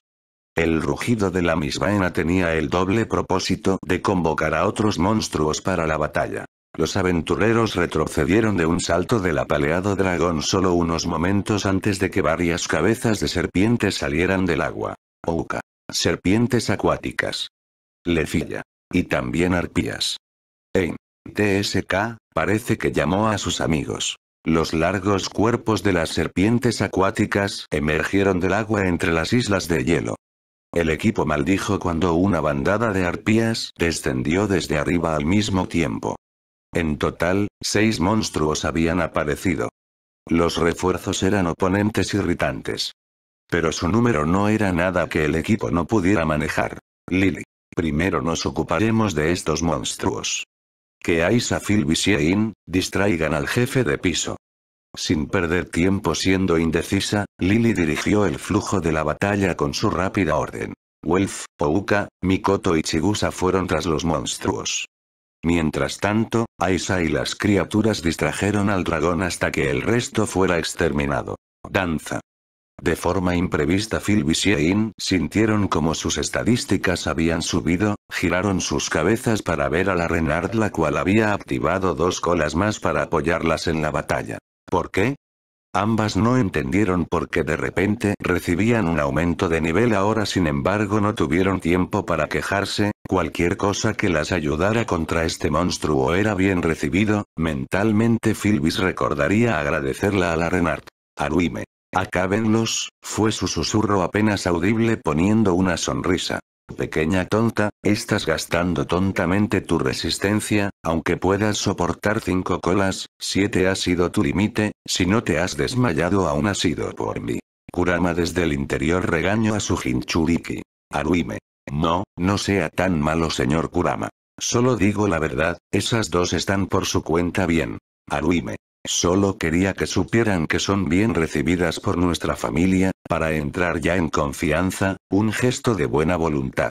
Como sea, mientras tú vas de caridad te informo que por esto me demoraré unos minutos más en reunir el chakra suficiente. Aruime. Entiendo, y otra vez gracias, se despidió para regresar a la batalla. Lefilla quien miraba todo esto apretó su báculo. Lefilla. Todos estás haciendo su mejor esfuerzo, no me puedo quedar atrás. Lily. Oye elfa tonta, ¿piensas ayudar o te vas a quedar parada todo el día? Una vena se marcó en la frente de Lefilla. Lefilla. ¿A quién llamas tonta? Para tu información estaba preparándome mentalmente. Gritó la elfa lanzando dos hechizos simultáneos, uno de curación sobre sus aliados que sintieron como recuperaban fuerzas y antes que pudieran darse cuenta vieron cómo sus cuerpos estaban completamente curados. El segundo fue un fusillade falárica que golpeó tanto a la mismaena como a los monstruos que convocó. Una lluvia de meteoritos cayó sobre el dragón como sus seguidores que caían por docena ante el ataque de la elfo. Los aventureros quedaron mudos y miraron con expresiones vacías a la ex elfa de Loki. Ouka barra Chigusa barra Aisa. Tomo nota, nunca hacerla enojar mientras lleve su báculo en mano, pensaron con una gota de sudor cayendo por sus nucas. Ein. Estoy ligeramente impresionada. Filbis. ¿Tú crees, que durante mi pelea se contuvo? Ein. Evito usar sus hechizos más poderosos contra ti y en su lugar decidió luchar a puño limpio, aquí la pregunta es, ¿aún sigue tirando para el mismo lado? Mira a su copia, tú tirarás para el mismo lado si eso significa estar con ella. El rostro de Philbis se sonrojo de un rojo atómico. Idiota. Aisa. No sé por qué razón, pero creo que me llevaré mejor con la de ojos azules, pensó sintiendo que alguien hablaba su propio idioma. Lily. Jaja, siempre funciona, hacerla enojar y que descargue sus frustraciones contra los monstruos, pero qué lista que sos Lily, pensó viendo que a diferencia de Cassandra, Lefilla no está dando la hora siendo pesimista sobre que todos morirán, además su magia no solo se limita a sanación sino también es ofensiva, lo que la hace mucho más versátil a la hora de adaptarse a los peligros. Lily. Muy bien, ahora pueden luchar en condiciones, Lefilla les acaba de abrir el camino, y aún tienen el aumento de Aruime, acaben con ellos. Sí. Ouka y Chigusa eran los más animados, sin dudar se lanzaron contra los monstruos que quedaban, Wolf Mikoto y Wine miraron todo esto con alegría, sin embargo negaron no dejando que la emoción del momento los desviara de su principal tarea la cual era salir de aquí y encontrar a su amigo barra padre, Aisa no se quedó atrás y junto a Phil Visiein atacaron con todo a la misma en el cual tuvo que usar su mist para minimizar los daños que las espadas mágicas Crozo como el fusilla de de Lefilla estaban causando en su cuerpo, las dos criaturas decidieron que iban a dar todo de sí para retribuir a la luna hogareña su amabilidad con ellas. Lily. Podremos ganar si seguimos así, pero, mira hacia el techo con una expresión preocupada en su rostro, solo espero que Aiciona Rivería y los Xenos puedan llegar a tiempo. Piso 18. Rivira. En la ciudad había un gran revuelo, la explosión que había ocurrido en los pisos 27 sacudió toda la mazmorra, y Rivira no fue la excepción. Finn y Gareth tuvieron que lidiar con los constantes pedidos de los aventureros y de Bors para enviar a gente para saber qué pasó en los pisos inferiores, sin embargo, por pedido o más bien orden de Rivería quien se le veía mucho más seria y aterrada, fue que negaron cualquier pedido del líder de la ciudad, más al enterarse el cómo dejó que un grupo de los suyos se le escaparan para ir a cazar a Vendaval. Fin. Esto no me gusta, mi pulgar no deja de doler, pensó mordiéndose la uña tratando de aliviar el dolor palpitante. Gareth. tu pulgar otra vez. Fin. Sí, no deja de dolerme desde el encuentro que tuvimos con Alfia, y ahora ocurre esto. Gareth. Según por la información que le sacamos a aquellos de Vilus, aquel miembro de la familia Rudra, ¿cómo se llamaba? ¿Jura? Tenía planeado hacer que toda Rivera casara a Vendaval y llevarlos sin saberlo a una trampa de explosivos, ¿no? Fin. Eso es lo que ellos entendían, sin embargo, recuerda las expresiones tan tranquilas y analíticas de los miembros de la luna hogareña, cuatro de hecho junto a tres de su propia familia, algo no me cuadra. Gareth. Otra vez es Rivería ahí Citiona, ¿verdad? Fin. Sí, no sé por qué, pero desde hace un tiempo siento que ellas no actúan como ellas, no desde, aquella vez en que se nos escaparon los minotauros a los pisos superiores. Gareth. Lo recuerdo, salieron corriendo con tanta prisa, como si esperaran encontrarse con una persona, y luego aquella noche en el bar, en la que Bete se pasó de copas insultándolo. Fin. Esas tres junto a las dos camareras de Mía salieron en su defensa, aun cuando ni siquiera se conocían, y después estuvieron más pendientes del que de la familia. Gareth. No sé tú, pero huelo gato encerrado. Fin. Aunque les preguntemos ellos negaran el tema o trataran de evitarlo haciéndose los desentendidos. Cuando estaban por seguir discutiendo escucharon cómo se estaba formando un alboroto fuera de su capa. Vamos a salvar a mi rival. ¿Quién viene conmigo? Ro. Payum y Enano se apresuraron a salir donde encuentran un gran grupo de monstruos con armadura y armas siendo liderados por un minotauro negro, pero para su sorpresa también estaban su princesa de la espada y amazona. A por Argonauta-kun. Salvar a Bale. Cuando se disponían a partir Fin se para en medio deteniéndolos. Fin. Aiz. Tiona. ¿Qué creen que están haciendo?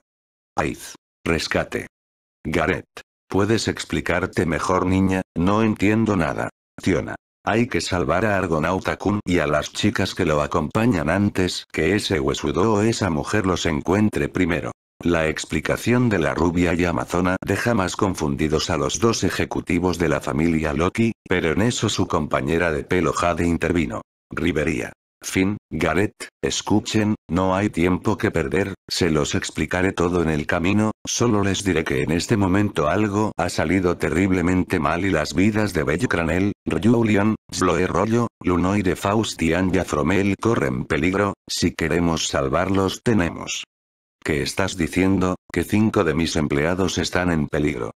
Una voz interrumpe a Rivería quien junto a los demás miran sorprendidos a la responsable. Fin barra Gareth barra Rivería. Mía.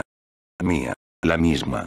La enana vestía su vieja ropa de aventurera, detrás de ella venían los miembros de Mia's Family junto con la capitana de Efesto Tsubaki, Mai quien en un principio Mia no quiso traer pero al final la gata la siguió de todas formas, no importó cuánto trabajo le amenazó con dejarle aún así vino para rescatar a sus amigos, Karin, a pesar de las protestas de Dian y Artemisa, la Sheno sintió las amenazas que acechaban a su padre por lo que no pudo quedarse de brazos cruzados y vino aunque a su abuelo y madrastra Artemisa no les gustara, finalmente estaba una misteriosa mujer quien nadie salvo los de su propia familia conocían, largo cabello gris con un mecho ocultándole el ojo derecho.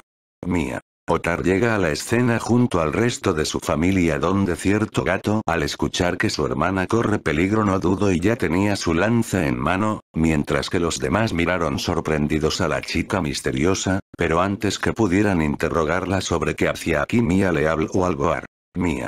Otar, mira con una ceja alzada el estado del Boar y el resto de su antigua familia, ¿qué les pasó? No me digan que volvieron a pelear entre ustedes en la mazmorra otra vez, mira a los tres capitanes de Loki, ¿no les causaron molestias? Una gota de sudor cayó por los presentes, pero en eso el elfo de luz habló para salvar la cara frente a su anterior capitana. Edin. No, esta vez no peleamos con la familia Loki, es más, tuvimos que pelear junto a ellos contra, silencio. Los ojos de Mia se agrandaron al escuchar un nombre que jamás pensó volver a oír en su vida. Mia. ¿Pero qué estás diciendo? Ella está muerta, ¿verdad? Ogni. Aquella quien nuestra familia ofendió a la suya, de ser así ha regresado como una no viva desde el Niflame. Todos. Mia. Dijo que molestamos a la persona equivocada y después de 14 años ha regresado desde la tumba como una zombie. Ah. Ya perdimos demasiado tiempo. El chico está en peligro no perdamos ni un segundo. Quienes puedan luchar síganos. La gárgola Gross ya no estaba dispuesto a seguir con esta inútil discusión, debían salvar a aquel humano y solo así su deuda de vida estaría saldada. Los Shenos salen corriendo dejando atrás una nube de polvo a su paso, los aventureros de las dos familias más poderosas se miraron entre sí antes de que findiera su orden. Fin. Ni modo, algo me dice que la familia Luna Hogareña también está en problemas, vayamos por ellos, Gareth Rivería Tione Tiona Aiz, ustedes conmigo. Otar. Allen Edin ustedes conmigo, Ogni y los Gullivers regresen a la superficie, protejan a Freya Sama, ordenó decidiendo unirse al grupo de rescate, pues había sido una orden divina de su señora el que Belle Cranel sobreviviera sí o sí. M. Miasan. La enana se giró al grupo que vino con ella. ¿Qué hacemos? Tsubaki le cuestionó. Mía. Ya los escucharon, ¿no? Pues andando, comienza a seguir el camino por donde los Shenos se fueron. Los aventureros de más débil rango se miraron dudosos sin embargo vieron cómo aquella misteriosa mujer que apareció de la nada siguió a Mia sin decirle una sola palabra, nadie sabía quién era ni cuáles eran sus motivos, no importaba cuánto le hablaran ella no les devolvía la palabra, lo que solo le daba más misterio a su personaje pero tuvieron que apartar sus pensamientos para centrarse en lo que tenían al frente, tenían que rescatar a sus amigos de lo que sea que estuvieran enfrentando, con eso entrelazándose con los demás aventureros se unieron a la cruzada. Chicos, más vale que estén bien. Regresando al piso 27. Se estaba realizando una batalla de proporciones legendarias, pues un grupo de no más de 11 aventureros le estaban dando una pelea al jefe de piso. Y yo. Wolf con su gran espada en su mano izquierda y su espada mágica en su mano derecha lanzó su ataque. El suministro de islas estables en el estanque de inmersión estaba disminuyendo, pero ahora la cuchilla de hielo afulada transformó el estanque de inmersión en un campo de hielo por segunda vez. El jefe de piso estaba en la línea de fuego, y giró la cabeza hacia la ola de hielo. Gaara. El el ataque con su niebla carmesí.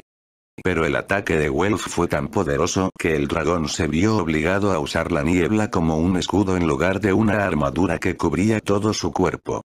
La irritación del dragón era evidente mientras su cabeza derecha rugía hacia el joven herrero y exhalaba más niebla. El cuerpo blanco del jefe de piso estaba empañado por la congelación. Lily. Ya están los nuevos puntos de apoyo. Júntense en la primera línea cuando hayan matado a los demás monstruos. Ouka. Bien. Con su hacha parte la cabeza de una serpiente acuática, ya casi terminamos aquí, ¿qué me dicen ustedes Chigusa? Mikoto. Chigusa. Ya casi, con sus flechas deja una serpiente acuática con más hoyos que un queso suizo. Mikoto. A diferencia de antes, nos ha costado menos tiempo acabar con los monstruos en la zona, pensó cortando en rebajas a varias arpías y serpientes acuáticas. Una arpía se pone enfrente de Wiene lista para atacarla. Wiene. Los familiares de la niña piensan ayudarla pero no hay necesidad pues la boibre apuñala en el estómago a la arpía y si no fuera suficiente la agarra de la cabeza y le hace un tajo en la garganta. Wiene. Dulces sueños, con una llave le quiebra el cuello. Los ojos de todos los presentes se le quedan viendo a la niña en silencio. Wiene. ¿Qué? Cuestionó ante las miradas que recibía. Wolf. Wiene, ¿dónde aprendiste a hacer eso? Pregunto no creyendo que una niña de meses de nacida pudiera asesinar de una forma tan brutal. Wiene. Asterios, fue su respuesta. Eso lo explica todo. Exclamaron Aruime Mikoto y Lily donde dos de las primeras pensaban tener ciertas palabras con el Minotauro sobre corromper a su hija barra sobrina con tácticas de asesinato tan brutales. Wiene. Ahí te voy San Pedro. Exclamó cargando como toda una suicida contra el Amisbaena. Ouka. ¡Ey, espera! Exclamó saliendo del shock inicial junto a Chigusa para unírsele en la batalla final contra el dragón. Wolf. Eso se lo enseño Bello con un poco de tu ayuda, dijo mirando a Mikoto. Mikoto.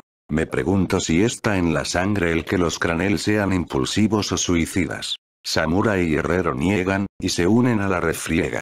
Mientras con Lily Aruime y Lefilla. Lily. Aruime Lefilla quiero que usen sus mejores ataques de largo alcance cuando yo les diga. ¿Sí? La Payum entonces posa su mirada en aquellas antiguas integrantes de Vilus, se le ocurrió una idea. Lily. El Amisbaena es un dragón de agua, así que las espadas mágicas de hielo y fuego no lo afectarán mucho. Filbis. Eso ya lo sabemos dijo viendo aquella espada mágica que tenía, no le ha servido mucho a comparación de su copia la cual ha causado más estragos con aquella espada mágica de rayo. Oh. La cabeza derecha de la misma la ataca intentando devorarla, pero ella logra esquivar y responder con un tajo ígneo que poco daño causa. Desde sus fauces llamas azules se asoman, antes que Filbis pudiera soltar una maldición un torrente de llamas volaron como un huracán sobre ella. Carajos. Tuvo que recurrir a su barrera mágica Diograil para sobrevivir a aquel ataque, el cual habría colapsado de no ser por la magia de la Renard la cual subió lo suficiente sus estadísticas para que su barrera resistiera lo suficiente. Desde por atrás, Ein viendo como su yo original estaba teniendo problemas decidió echarle una mano al distraer a la cosa, chispas salieron de la espada mágica antes que un rayo golpeara la nuca de la mismaena. Los ojos azules de la misma cambiaron de atención dejando de lado a Filbis para centrarse en Ain y atacarla con una llamarada permitiéndole a Filbis recuperar el aliento. Filbis. Al diablo, mira la espada mágica de fuego y la guarda reemplazándolo con su varita antorcha blanca del guardián, molesta no ve como las llamas de la espada entraban en reacción con las llamas azules de la misma Filbis. Arrasa, bastón sagrado del aplastante mal, rayos comenzaron a salir expulsados de su varita. El Amisbaena por estar tan concentrado en Ein no vio hasta que fue muy tarde cuando el ataque de Filbis lo alcanzó.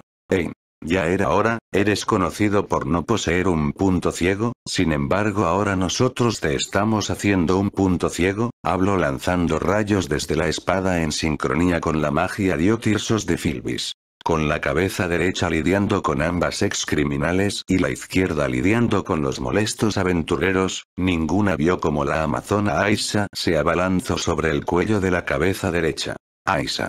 Toma. Crash. El cristal azul se rompió y un río de sangre brotó. Oh. El Amisbaena gruñó moviendo ambos cuellos antes de sumergirse desapareciendo bajo el agua. Ouka. Se sumergió. Ein. TSK, generación de cristal, ya no aguanta nada. Aisa.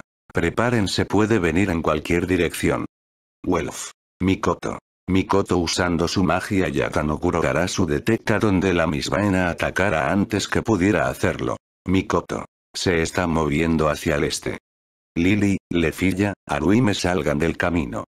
Payum y Renard actúan casi al instante, la elfa un segundo después, pero todas logran evitar por poco un ataque de la misma Ena, que había surgido exactamente donde Mikoto dijo que lo haría. Era casi como si hubiera visto el futuro, eso fue lo que muchos del grupo pensaron. Mikoto sin perder un segundo atravesó la escena, cronometrando su aproximación al instante en el que el jefe de piso mostró su rostro. Desenvainó su espada larga Shunsan. Aunque era difícil de maniobrar debido a su gran longitud, no había mejor arma para luchar contra un enemigo de gran tamaño. La espada también era ideal para realizar su movimiento especial. Los destellos dorados de luz del impulso de nivel giraban en torno a la discípula del dios de la guerra. Ella saltó hacia adelante, torciendo sus caderas mientras sacaba la espada. Seca. Espíritu y técnica se fusionaron perfectamente en el ataque que estalló desde su vaina. La cuchilla cortó una escama del dragón por la mitad y rasgó profundamente en el cuello de la cabeza derecha del jefe de piso. ¡Oh! El Amisbaena gritó mientras sangre fresca llovía desde el centro de su cuello. El golpe fue incuestionablemente feroz, y los amigos de la Yamato no evitaron mostrar su apoyo a la chica. Chigusa. Mikoto-chan, bien hecho. Ouka. Mikoto has usado las enseñanzas de Takemi Kazuchi-sama, estoy tan orgulloso, se limpia las lágrimas con la manga antes de mostrar un rostro de feroz determinación, eso significa que no puedo quedarme atrás, vamos Chigusa. Chigusa. ¿Sí? Welf. Sabía que dirían algo así, con una sonrisa desenfunda su gran espada, ¿vienen? Ein. No hace falta que nos lo preguntes, dijo no pudiendo evitar abrazar la emoción de la situación. Conforme la lucha avanzaba y la misvaena comenzaba a quedarse sin fuerzas, esto no pasó desapercibido para los aventureros, quienes se motivaron a dar más de si ahora que estaban montando a un puto dragón. Aisa. Ese bastardo se está quedando sin vapor, pensó viendo las respiraciones pesadas que estaba dando, el grupo funciona como una máquina bien engrasada y ya hemos acabado con todos sus secuaces. Una serpiente acuática intenta atacar a Aisa, pero esta con su podao la atraviesa. Aisa. Corrijo, ahora sí hemos acabado con todos, pensó con una sonrisa solo para que ésta desapareciera y fuera reemplazada por una mirada analítica. Aisa. Lo que me preocupa son los demás monstruos de los otros pisos, esa explosión de antes sin duda puso de mala a la mazmorra, despertó a la misvaena antes de tiempo junto con otra cosa que Aruime no me quiere decir, pensó recapitulando los eventos recientes llegando a la conclusión de que la mazmorra no estaba actuando como normalmente lo hace, y todo esto por algo que solo los integrantes de la luna hogareña sabían. Ah, ah, ah. Ouka abalanzó su hacha cortando carne del cuello izquierdo, Chigusa clavó sus flechas en la carne expuesta del dragón, Philbis y Ain atacaban con ataques de rayo contra la cabeza derecha, Aisa ayudó a ambas ex criminales rompiendo más cristales, Welf abalanzó su gran espada y espada mágica de hielo intentando decapitar ambos cuellos pero solo logrando cortar secciones de menor tamaño, Wiene también hacia su parte clavando los embón de su madre en puntos de presión sobre la carne de la misbaena. Aruime Lefilla y Lily solo miraban esperando la instrucción de la última con impaciencia. Después de un tiempo los ataques cesaron, la magia de Aruime aún seguía activa sin embargo no con la misma intensidad de antes, por lo que se detuvieron para ver el trabajo que habían hecho y con toda sinceridad pudieron decir que la imagen frente a ellos había valido cada gota de sudor. Frente a ellos cuatro ojos inyectados en sangre los fulminaron con la mirada. El dragón no estaba bien, el daño acumulado, la sangre perdida, y lo peor de todo, esos aventureros inferiores que tuvieron el descaro de oponerse a un dragón a pesar de su insignificante tamaño. Todo sobre la situación alimentó la ira de la misbaena, hasta que su enorme cuerpo ardió de ira. Gaara. Ambas cabezas rugieron al mismo tiempo. Antes de zambulló bajo el agua. Ouka y Chigusa se estremecieron cuando su enorme aleta partió el agua, provocando una tormenta de gotas. Filbis. Se volvió a sumergir. Ein. Oye espadachín, usa tu magia para adivinar dónde saldrá, Filbis le da un codazo, por favor, dijo con fastidio. Antes que Mikoto pudiera responder, una payún se le adelantó quien instruyendo o más bien ordenando a la Renardi elfa a su lado, les dijo a dónde tenían que atacar. Lily. Aruime le filla rápido, ataque en la cascada. ¿La cascada? Murmuraron confundidos los que no entendieron el motivo de dicha acción. Le filla. ¿La cascada? Preguntó creyendo haber oído mal. Lily. Ya me escuchaste. Por el grito que le dio la Payun Lefilla asintió asustada y sin replicar lanzó su magia Arg Ray un segundo después que Aruime lanzara su Rasen Shuriken, esto con el fin de que el ataque de la zorra rubia abriera el camino para el ataque de la elfa. Las aspas del orbe azul cortaron varias raíces que cayeron sobre el agua levantando varias olas, pero el Arg Ray mantuvo su curso hasta que finalmente ambos ataques dieron en el blanco. Boom. Kaboom. Primero fue la explosión del Rasen Shuriken, después el del Ray, y por último los aventureros escucharon el gemido de dolor del dragón el cual había recibido la potencia de ambos ataques de lleno. Le dio. Ouka Chigusa y Lefilla expresaron su sorpresa, pero la sorpresa también vino con la duda. ¿Cómo la chica puso saber dónde se estaba moviendo la misvaena antes que la espadachín pudiera saberlo? Una vez más Aisa Philbis y Ain entrecerraron su mirada hacia los cinco integrantes de la luna hogareña, quienes sabían más de lo que debían. Bien. Bien, le dio a la fea cosa mala. Welf. Sí, o no. El rostro sonriente del herrero se borró cuando se dio cuenta de algo, y ese algo era que a pesar de que evitaron que el Amisbaena cayera de picada contra ellos, eso no evitó que de todas formas su peso cayera sobre ellos. La explosión del golpe anterior desorientó a la Misbaena tanto, que perdiendo el equilibrio comenzó a caer de espaldas sobre ellos. Crack crack crack crack crack. Varias ramas se resquebrajaron ante el peso de la espalda del dragón, una señal de lo que se aproximaba. Aisa. Por un demonio lo que faltaba, todos salgan de la zona de impacto. Ante la orden de la Amazona los aventureros sin rechistar comienzan a correr para evitar ser aplastados por el peso de la misbaena. No llegaremos a tiempo. Fue el pensamiento que más de uno tenía, pues no importaba cuánto corrieron, no había forma de que lograran salir ilesos de lo que venía, entonces. Chapotazo. La cúpula de raíces explotó con un impacto que pareció destrozar la tierra misma. No solo el vigésimo quinto piso sino toda la capital del agua se sacudió cuando una masa de escombros incomparablemente más grande de lo que había caído del árbol colosal antes cayó al suelo. El impacto provocó un tsunami que volcó todo lo que se parecía a una isla de hielo. Toda la avanzada fue tragada en cuestión de segundos, cuando el tsunami llegó a la orilla, arrastró a los miembros de la retaguardia y las arrojó contra la pared. Incluso las ardientes llamas azules que habían estado parpadeando en la orilla y el agua fueron tragadas por las violentas olas y se ahogaron en el agua espumosa. Como el vino derramándose de un vaso, el agua azul esmeralda se vertió en el piso 26 sin disminuir la velocidad. Los temblores abrieron una alarmante red de grietas en toda la caverna. Ah.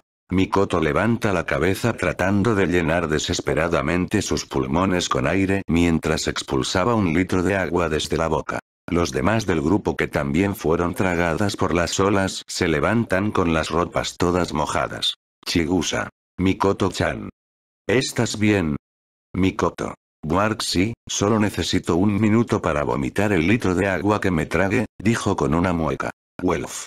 Supongo que es mejor ahogarse con agua que ahogarse con las pirañas. Mikoto solo asiente para confusión de Chigusa. Aisa. Oye, reacciona, patea a Ouka asegurándose que seguía vivo. Ouka. Oh mira un amigable delfín, ellos ayudan a los marinos, son amigables, ah, un tiburón, no son amigables, parece delfín, pez tramposo, pez tramposo. Aisa coloca su mano en su hombro tratando de tranquilizarlo. Ouka. Tengo algo sobre mí y es peor que el tiburón. Aisa tiene suficiente y le da una bofetada para que reaccione y vuelva a sus cabales. Aisa. Ya estás de vuelta en tus cabales, le da una segunda cachetada para asegurarse. Ouka. Sí, eso creo, mira a su alrededor, odio este piso. Wolf. Sí, no eres el único alguien más necesita ayuda. Grito a lo que todos niegan. Lily. Lily agradece que ustedes tres hayan podido usar su barrera a tiempo, miro a Lefi y a Phil Si las tres no hubieran actuado cuando lo hicieron de seguro estarían peor que ahora. Aruime. Wiene ¿estás bien? Pregunto teniendo a su hija en brazos. Wiene. Sí mamá, respondió cuando en eso. Oh. En el mismo momento, el dragón de dos cabezas estalló a través de la superficie del agua, con ojos enloquecidos.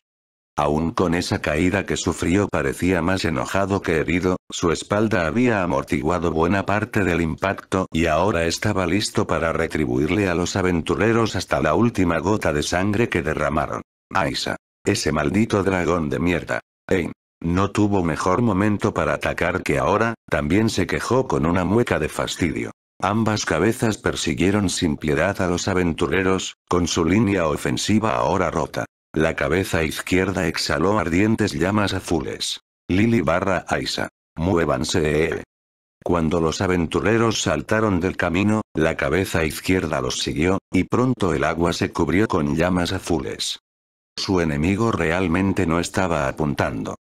Aisa saltó de isla en isla, mientras los demás como podían esquivaban los ataques de la misbaena. Pero, durante la confusión Aruime perdió de su vista a la pequeña Sheno que estaba a su cuidado. En su arrebato, el dragón de agua continuó disparando llamas en todas las direcciones, teniendo la intención de quemar todo lo que estuviera a la vista hasta destruir a aquellos aventureros. Los cristales se derritieron cuando crecieron las olas abrasadoras, y el poco aire que quedaba en la caverna se adelgazó. Los gemidos de los pocos monstruos alados que habían llenaron el aire.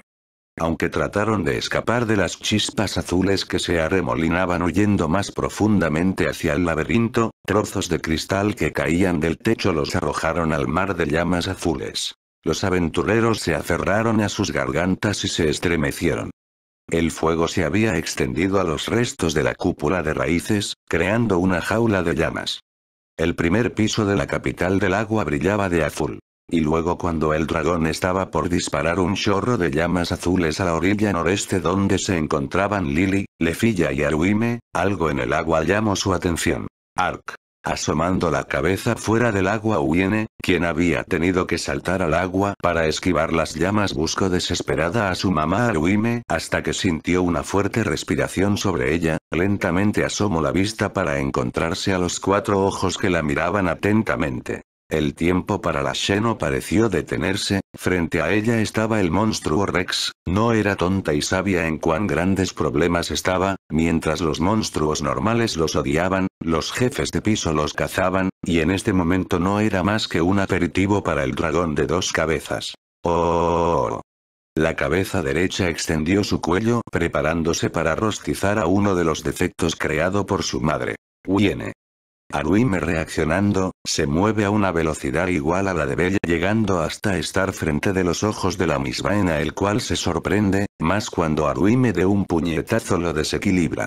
Los ojos de todos se ensanchan al verlo hecho por la Renar quien no se detiene ahí y apareciendo en la frente del dragón le conecta un Rasen Shuriken mientras grita. Bajo ninguna circunstancia dejaré que lastimes a mi hija.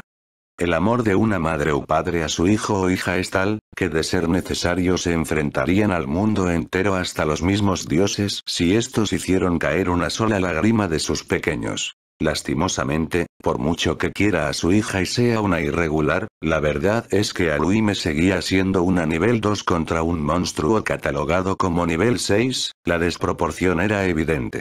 El Amisbaena recomponiéndose de aquellos golpes, gira sobre su eje golpeando con su cuello a la Renard.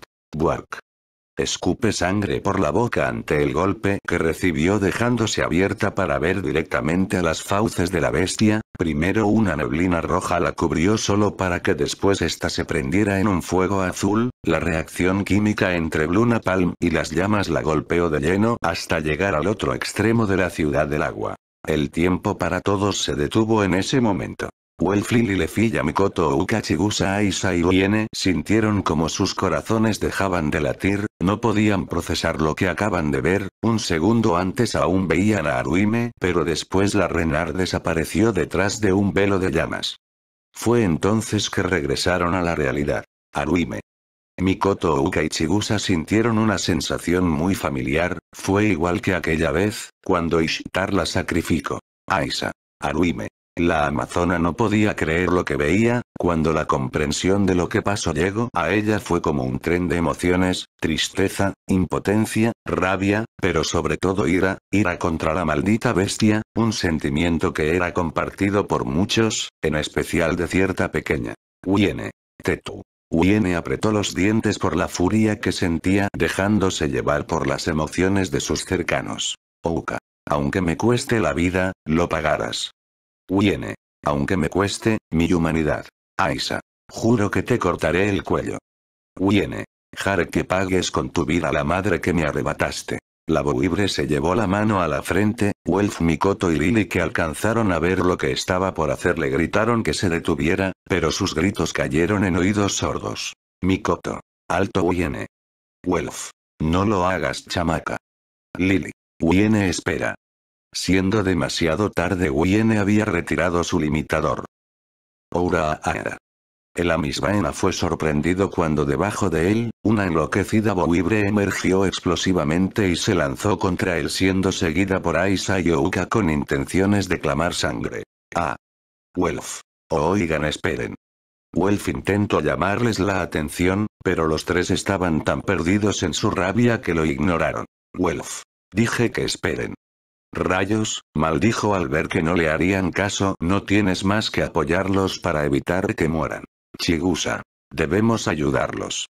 Philibis y Aina sienten solo para darse cuenta de la mirada que tenían los de la luna hogareña, a pesar de la muerte de uno de los suyos se les veía como si ya lo hubieran visto venir. De esto también se empezó a dar cuenta a Lefilla la cual se alejó un poco de su familia para hablarlo con Filbis. Lefilla. Filbis. Filbis. ¿Te diste cuenta no? Lefilla. Han estado actuando sospechosos, demasiado, desde que, encontramos a Karin. ¿Eh? ¿Coincidencia? No lo creo. Mientras esas tres se cuestionaban la información que se les estaba ocultando, con Aisa Uka y pues. Aisa esquiva con gran agilidad las llamas azules del dragón de agua moviéndose entre las plataformas de hielo que quedaban. Te mataré. Proclamó estando a centímetros de incrustar su podao en su sien, solo para fallar por escasos segundos, cuando el dragón bajó su cabeza, dejándola pasar volando solo para levantarla y mandar a la amazona por los aires. Maldito, no dejaré, que lo que le hiciste a Aruime, quede impune. Ouka gritó abalanzando su hacha contra las duras escamas del dragón de agua, sin embargo lo único que consiguió con su arrebato fue sacar chispas, las escamas del pecho eran demasiado gruesas y al dejarse llevar por la rabia no fue capaz de poner el peso de su cuerpo en su arma, era como cuando le enseñabas a un niño el arte de la espada y en vez de realizar movimientos finos agitaba la espada esperando asestar un golpe milagroso. La cabeza izquierda bajó la vista para ver mejor a la molestia. El herrero pelirrojo sabiendo lo que venía le gritó que saliera de ahí. Wolf. Sal de ahí Ouka, es su ataque Bluna Palm. Cuando levantó la vista fue recibido por un tsunami de fuego azul, afortunadamente pudo cubrirse con su escudo a tiempo. El Bluna Palm fue seguido por su ataque Mist que cubrió todo el lugar en una espesa niebla roja. Cuando el campo fue cubierto pocos segundos Ouka salió expulsado volando por los aires antes de caer sobre el agua a un lado de ellos. Ouka. Burg, escupe un chorro de agua antes de escalar y subirse al trozo de hielo, rayos, eso lo sentí, ¿a dónde se fue? Su respuesta fue contestada casi al instante que la espesa niebla amaino revelando que ya no había nada. Ouka. ¿Qué? Se pone alerta al ver que el dragón ya no estaba, volvió a sumergirse, Mikoto. La Yamato usando su habilidad Yatanokuro su busca a su oponente. El resto de los aventureros esperan alerta esperando la instrucción de la chica. Mikoto está concentrada hasta que abre los ojos en grande, lo que dispara las alarmas en sus camaradas. Mikoto. Viene. Viene, Confundidos todos buscan con la mirada a la Sheno pero no la encuentran, ¿dónde había ido? Aisa. Ahora ¿dónde fue esa pinche mocosa? Wolf. La perdí de vista durante la niebla mist, oh. Mikoto. ¿No creen que Wiene haya sido tan imprudente para Salen de su estupor cuando el Amisbaen emerge del agua, pero en vez de atacarlos desde abajo como antes, parece que su eyección fue más de emergencia debido a cierta monstruo que se aferraba a su hocico. La familia de la luna hogareña reconoció al instante a su compañera faltante. Wiene. La buibre descontrolada se había movido entre la niebla, logrando aferrarse a su cola cuando éste se sumergió. Bajo el agua contuvo la respiración, una ventaja de ser mitad serpiente es que éstas podían soportar mucho mejor este ambiente que un aventurero corriente, con esto fue capaz de deslizarse por todo su cuerpo yendo hacia las cabezas. La presencia de la buibre no fue ignorada por el dragón quien intentó quitársela de encima, pero no funcionó, pues con sus largas garras clavándose en la carne fue capaz de afirmarse, ante esto el dragón recurrió a llamar a otros monstruos para que se encargaran de la Sheno. Oh. Ante su llamado un cardumen de Raider Fish y algunas serpientes acuáticas se abalanzaron contra la Sheno, quien más que asustada pareció ignorar a lo que para ella en este momento eran simples molestias.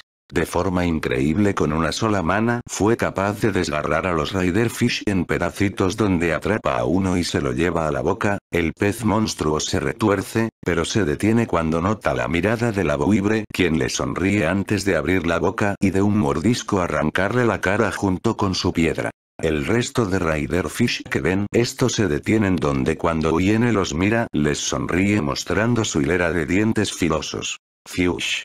De forma cómica los peces se largan con la cola entre las patas, no pensando el volverse el alimento de esa desquiciada, dejando solo a las serpientes acuáticas las cuales tenían mayores probabilidades de ganar, no fue así.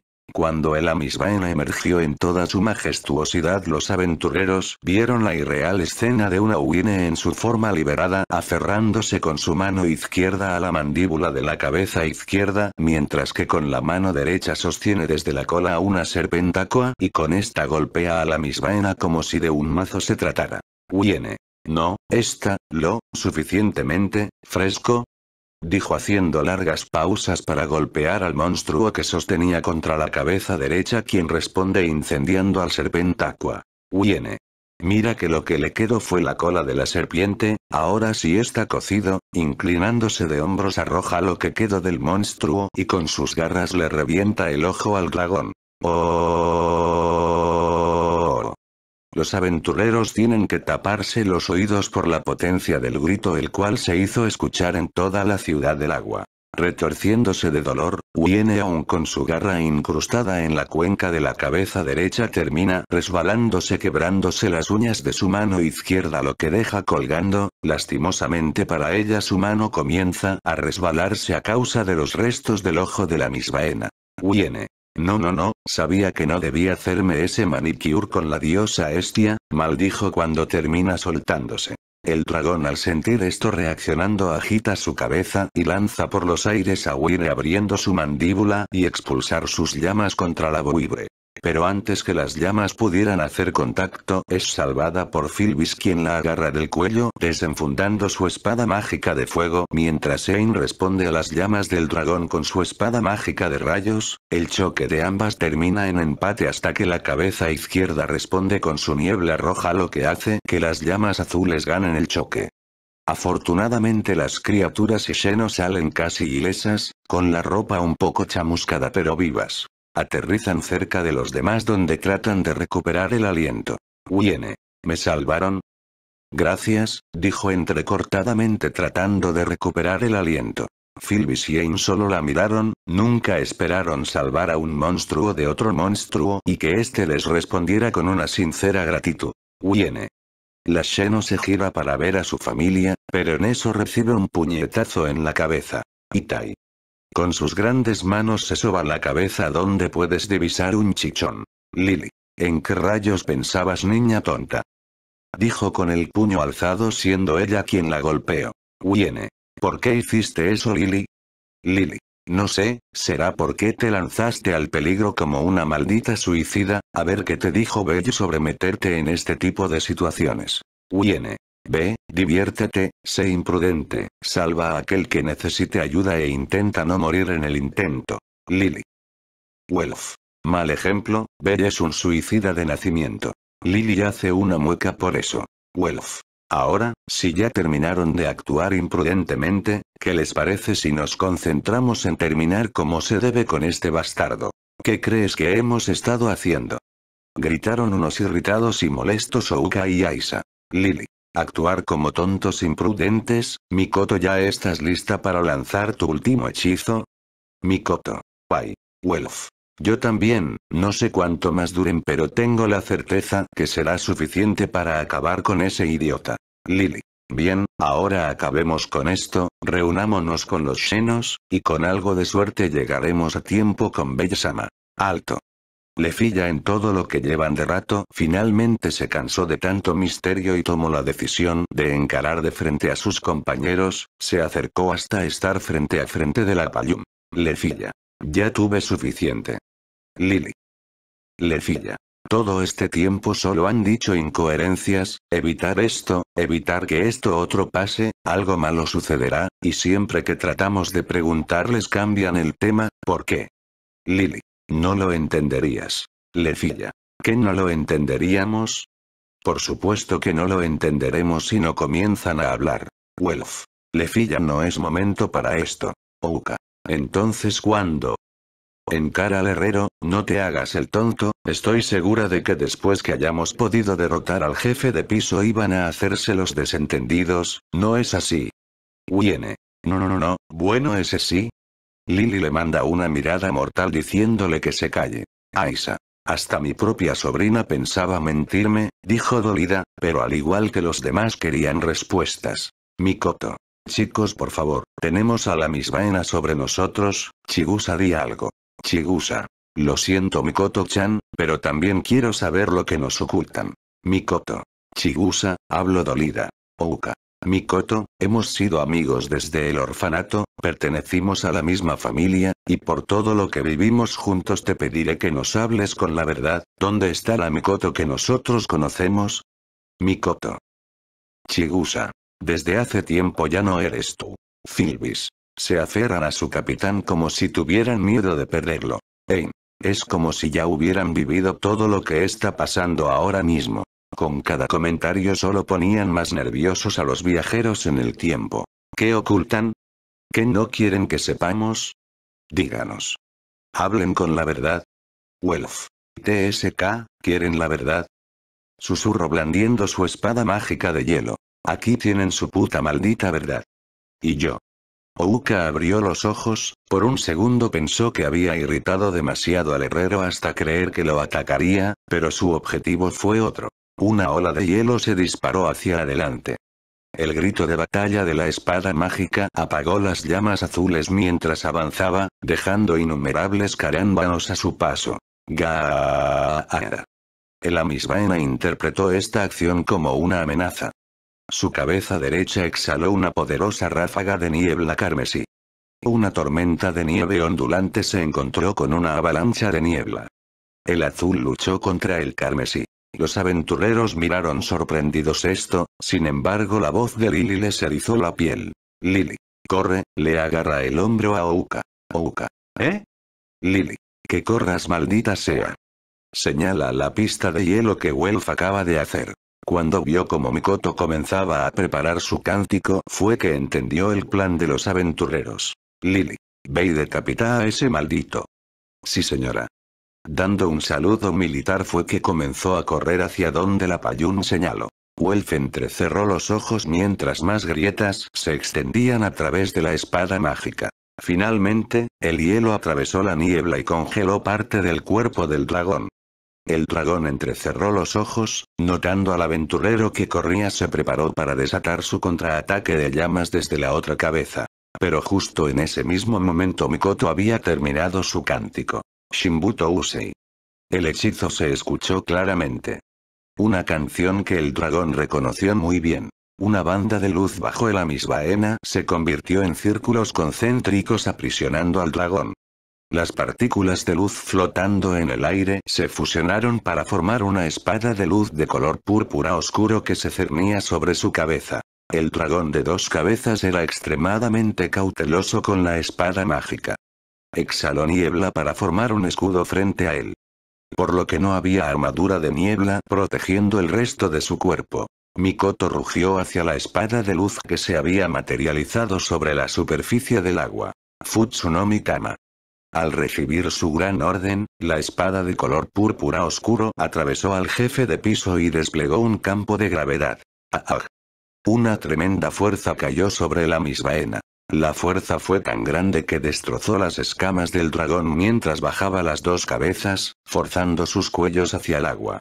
Incluso el centro del estanque de inmersión fue hundido hacia abajo por la implacable presión de la gravedad antinatural. Ya. Oh. Mikoto. No lo dejaré escapar.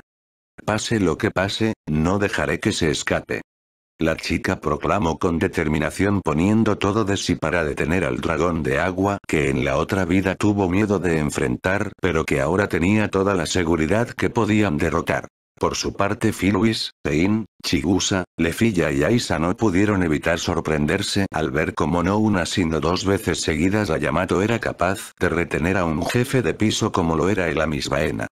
En otra vida tuvo que sufrir la presión de su propio hechizo para hacer que el dragón no lo pudiera ver venir.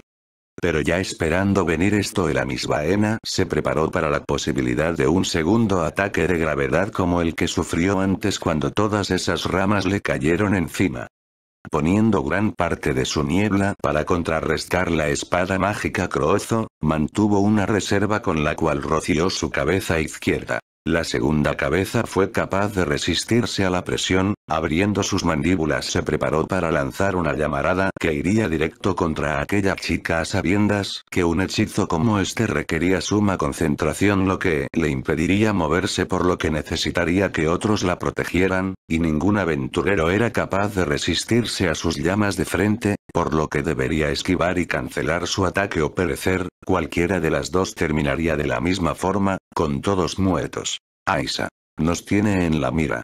Elfasus en su barrera. Lefilla. Es imposible que podamos resistir un ataque directo de sus llamas. Aisa. TSK, chasquea la lengua frustrada.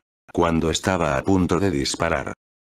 Un incremento de poder alertó a todos los presentes en el lugar, desde aventureros hasta el propio jefe de piso los cuales giraron en una misma dirección, donde previamente el Amisbaena había soltado un ataque a quemarropa, donde uno de los suyos había caído, ahora mismo desde las llamas azules, una silueta dorada emergió cruzando como si no sintiera las quemaduras del fuego azul. Los ojos de Ouka Chigusa y Aisa se abrieron a más no poder. Aisa. H. Aruime, la amazona no pudo evitar tartamudear cuando desde los fuegos azules su hermana adoptiva emergió vivita y coleando, emitiendo una poderosa aura que hizo que se sintiera como una linda gatita frente a un tigre, esa era la mejor forma de describir cómo se sentía Aisa con respecto a Aruime. La Renarda había sufrido un cambio notorio, pues su cuerpo estaba brillando de una energía dorada con su kimono habitualmente rojo mezclándose con aquella energía que no paraba de salir expulsado de su cuerpo, símbolos negros recorrieron todo su cuerpo. Por un segundo no la cuentas, si no hubiera activado la capa de chakra a la quinta cola habría sido rostizada. Aruime. Lamento haberle causado tantas molestias señor Kurama, he tenido que pedir prestado mucho de su poder. Ve, a diferencia de mis últimos tres Hinchurikis, tú has sido la más humilde al momento de pedir las cosas en el momento, para ser mujer. Aruime. ¿Qué fue eso? Nada, ¿estás preparada? Aruime. Sí, por el bien de mis amigos, para salvar a mi amado héroe, debo llevarme a mis propios límites. Más chakra es expulsado de su cuerpo el cual conforme crece va tomando forma hasta adquirir el cuerpo superior de un zorro de seis colas. El tiempo pareció detenerse para todos, ante la repentina revelación de que Aruime seguía viva y que ésta se haya convertido en lo que podías describir como un gigante igual a un jefe de piso. Chigusa. Aruime-chan. Filbis. ¿Esto es real? Lefilla siente que se va a desmayar. Ein. No solo tiene una magia que sube de nivel, es madre de un monstruo y más encima puede convertirse en un jefe de piso. El silencio llenó el campo de batalla, nadie decía o hacía algo no atreviéndose a ser el primero en actuar, finalmente es el Amisbaena el primero que actúa lanzando sus llamas contra la Yamato. Aruime actúa interponiéndose y recibiendo las llamas. Aruime. Sus cercanos se preocuparon sin embargo su preocupación fue reemplazado por sorpresa cuando la figura del zorro fue capaz de tolerar y mantenerse imperturbable ante el ataque, la cabeza del zorro se dio la vuelta para mirar a Mikoto. La chica intercambió miradas con la figura zorruna dedicándole un asentimiento. Con la confirmación de la Yamato la gran figura de zorro soltó un rugido golpeando el suelo antes de impulsarse contra el Amisbaena causando que el agua bajo ellos se agitase. El dragón de agua fue tomado por sorpresa por el ataque de su rival, sin embargo, parecía que la decisión precipitada de su oponente no fue muy inteligente cuando la gravedad también comenzó a hacerle efecto, con esto ambas cabezas comenzaron a rodear su cuello mientras con su gran cuerpo comenzaba a empujarlo, pero el zorro no se iba a dejar ganar y se mantuvo firme aferrándose a su oponente con ambos brazos. Con los aventureros estos solo miraban sin saber qué hacer. Ouka. Aruime. ¿Qué crees que haces? Dijo desde lo alto viendo en primera línea el choque entre ambos titanes. Aisa. Ahora en qué está pensando hacer esa tonta. La amazona se preocupó cuando el Futsonomitama también afectó al zorro, estaba a punto de gritarle a Mikoto que detuviera su hechizo para darle la oportunidad a Aluime de defenderse, pero en eso Chigusa nota algo que solo ella Mikoto o Uka Aluime conocían. Chigusa. Ella está, rodeando sus brazos desde la cintura, murmuró recordando dicho movimiento.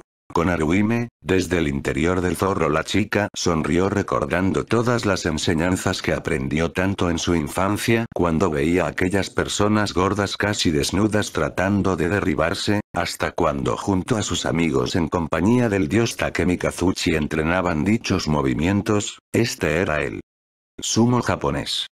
El zorro de chakra toma por sorpresa a la misbaena cuando desde la cintura es capaz de levantarlo por los aires antes que la gravedad hiciera su trabajo y lo devolviera al suelo. ¡Pam! Con un golpe seco el misbaena cae de espaldas por segunda vez, donde el zorro aprovecha para montarse sobre él y agarrándolo desde sus cuellos con ambas manos levantando la vista hacia Ouka con voz femenina grita. Ahora amigos. Ouka. Aruime, Pregunta hasta que escucha la rama debajo suyo agrietarse. Sabiendo que no tiene tiempo que perder hace lo que muchos llamarían un salto de fe. Mikoto, Aruime no lo dejen ir. Grito camino hacia abajo quedando atrapado dentro del campo de gravedad, lo siguiente que pasó fue pura inercia. Luchando contra la presión de la gravedad, exhaló el aire de las profundidades de sus pulmones. Al instante se convirtió en chispas. Como un conjunto de colmillos que lo envolvían todo, Ouka desató su movimiento letal en la cabeza derecha del dragón mientras se abalanzaba sobre ella. Koku. Su hacha cayó. Gawa. El Amisbaena no lo vio venir, con su cuello retenido por esas garras de chakra, cuando levantó la vista lo último que vio fue un rugiente destello de luz plateada antes de sentir como sus escamas eran atravesadas como si una guillotina lo hubiera decapitado. Una fuente de sangre brotó, floreciendo en el aire. La cabeza de ojos carmesí se separó del largo cuello. Casi en el mismo momento, el campo de gravedad se desvaneció, con su poder habiéndose agotado. Oh. Cuando el aventurero cayó a punto de impactar sobre el agua, fue atrapado por el zorro de chakra y metido en su interior para que recuperara fuerzas. Los ojos restantes del dragón se hincharon y un carámbano masivo se elevó en el aire. Privada de su otra mitad, la cabeza izquierda rugió. Todos vieron la irreal escena que acaba de pasar frente a ellos, el cómo un aventurero de nivel 2 fue capaz de decapitar a un monstruo de nivel 6. Pero las sorpresas no acabaron, pues el herrero habló llamando la atención de todos. Welf. Me disculpo por tanto misterio, pero solo quiero que sepan que todo lo que hemos hecho ha sido solo por una cosa. Lefilla. ¿Qué cosa? Mikoto. Salvar a Bellodono. Chigusa. ¿Eh? Lily. No lo entenderán ahora y quizás nunca lo harán, pero les pregunto, ¿qué es lo que sienten, cuando la persona a la que tanto amas, con la que has vivido un sinfín de emociones, desaparece? Nadie sabe cómo responder ante una pregunta tan personal. Viene. Duele, en verdad duele, y duele más cuando sabes que pudiste haber hecho algo para evitarlo pero no lo hiciste, es eso lo que estamos haciendo, por proteger a papá. Wolf. Por salvar a mi amigo. Con su cabeza derecha cortada por el movimiento especial de Ouka, el Amisbaena estaba loco de ira. Mientras todavía le quedara una cabeza, el dragón continuaría arrasando. Y ahora que el campo de gravedad ya no estaba activo, ya nada restringía sus movimientos. Sus ojos restantes estaban completamente inyectados en sangre. La cabeza izquierda abrió tanto la boca que parecía lista para partirse. La luz azul dentro de sus fauces brillaba más que nunca. Había extraído hasta la última gota de propulsor de bilis de dragón para desatar una enorme explosión final de ardientes llamas azules. No fallaremos.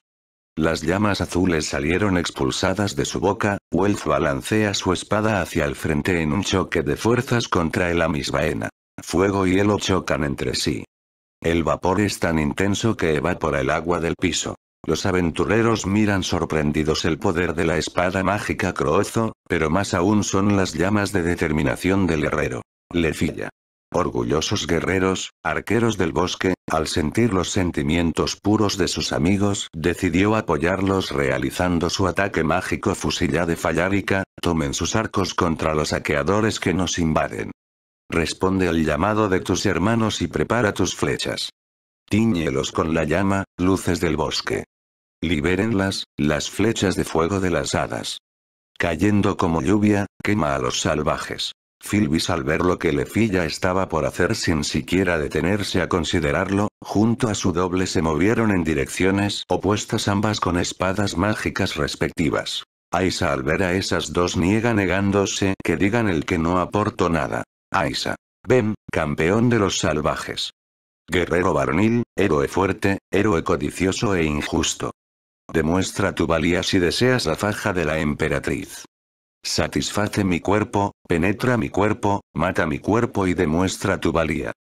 Mi espada hambrienta es Hipólita. Al mismo tiempo Phil y corren a máxima velocidad poniendo todas sus fuerzas realizan un corte limpio al cuello lo que causa una pequeña explosión que corta el grifo, entonces la magia de Lefilla se combinan con el rayo de hielo donde gracias a el callos el ataque se amplifica en una onda de choque que vuela directo contra el Amisbaena.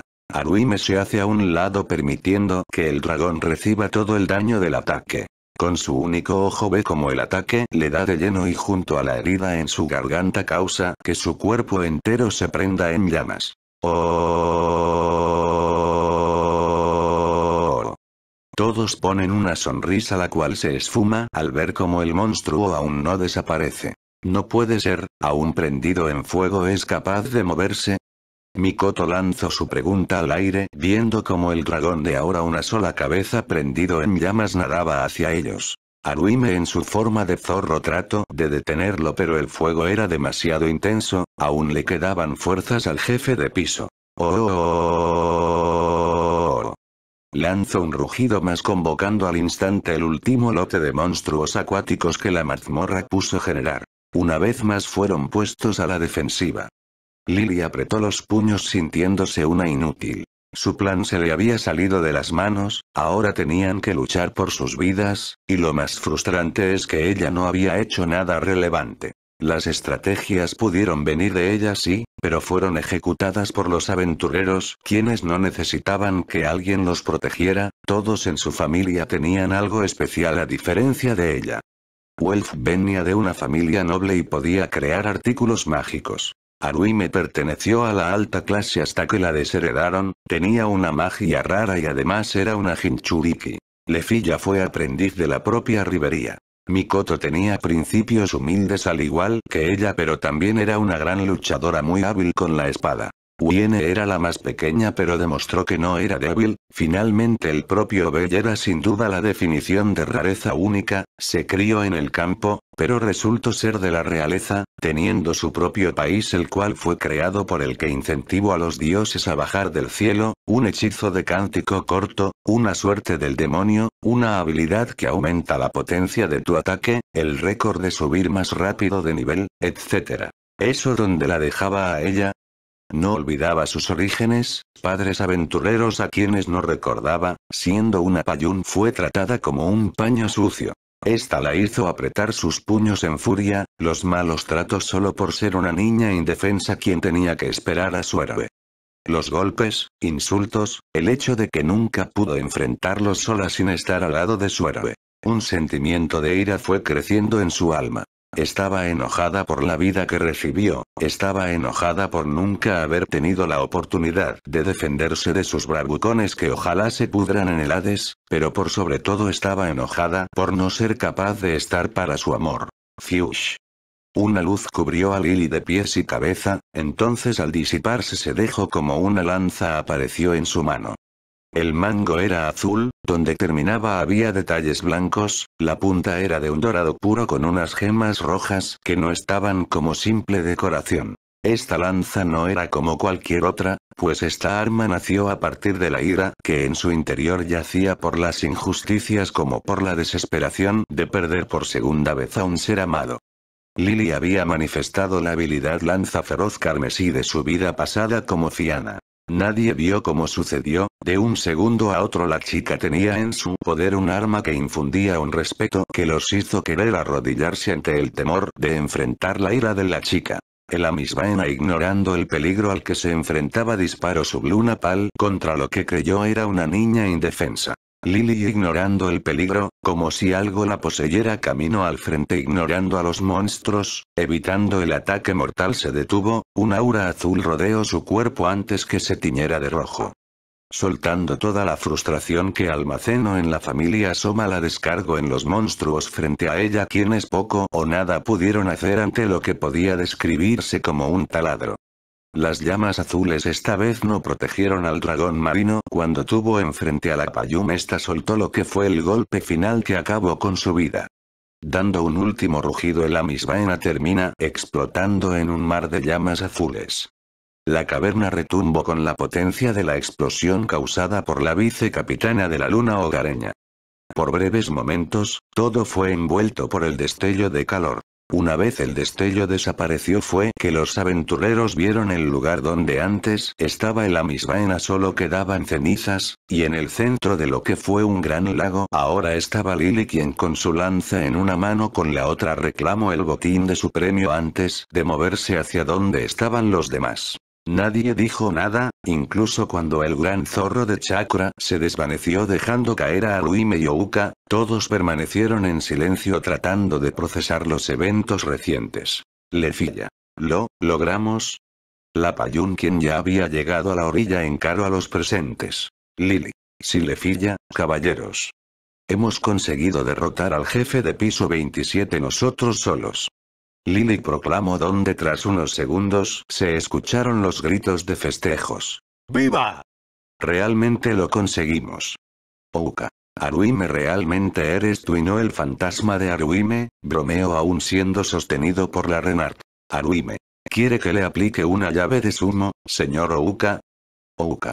No, por favor no, dijo temeroso alejándose unos metros. Chiguse. Aruime-chan. Aruime. Chigusa. La Renard recibe un abrazo de su amiga. Chigusa. No vuelvas a fingir tu muerte. Aisa. Ya van dos veces, la Renard se separa de del abrazo solo para ser abrazada por la Amazona, realmente has crecido, pequeña zorra tonta. La Renard tiene una sonrisa nostálgica, esas fueron casi las mismas palabras que Aisa le dedicó la primera vez que vencieron solos a la misbaena. Lefilla. Lo logramos Filbisan. Por la emoción la elfa abraza a la criatura, quien se pone roja de la vergüenza pero devuelve el abrazo. Filbis. M me alegro lefilla. Ein. HM, aunque aún estuviéramos en la familia Dionisio en su mejor momento, ni siquiera la familia Loki habría obtenido los mismos resultados con este número de aventureros. Lefilla quien perteneció a la familia Loki de mala gana tuvo que reconocer que era verdad lo que decía, con el puñado que tenían, era simplemente una sentencia de muerte para cualquier familia enfrentarse a la misma sin un número de mayor tamaño. Mientras cada parte seguía en lo suyo Lily se apresuró a trazar el camino que debían tomar. Welf. ¿De dónde salió todo eso? Lily. Siéndote sincero ni yo tampoco lo sé, pero, mira su nueva arma moviéndola con destreza y familiaridad, se siente bien. Welf. ¿Quieres que la bautice por ti? Lily. No gracias, tú no eres precisamente de elegir buenos nombres, además esto vino de mí, así que gracias. Rechazo rotundamente la oferta del herrero. Welf. Qué ruda. Lily. Bien, si ya terminaron de festejar, hay trabajo que hacer, dijo llamando la atención de todos. Ouka. Espera, ¿no nos dejarán descansar aunque sea unos minutos? Welf.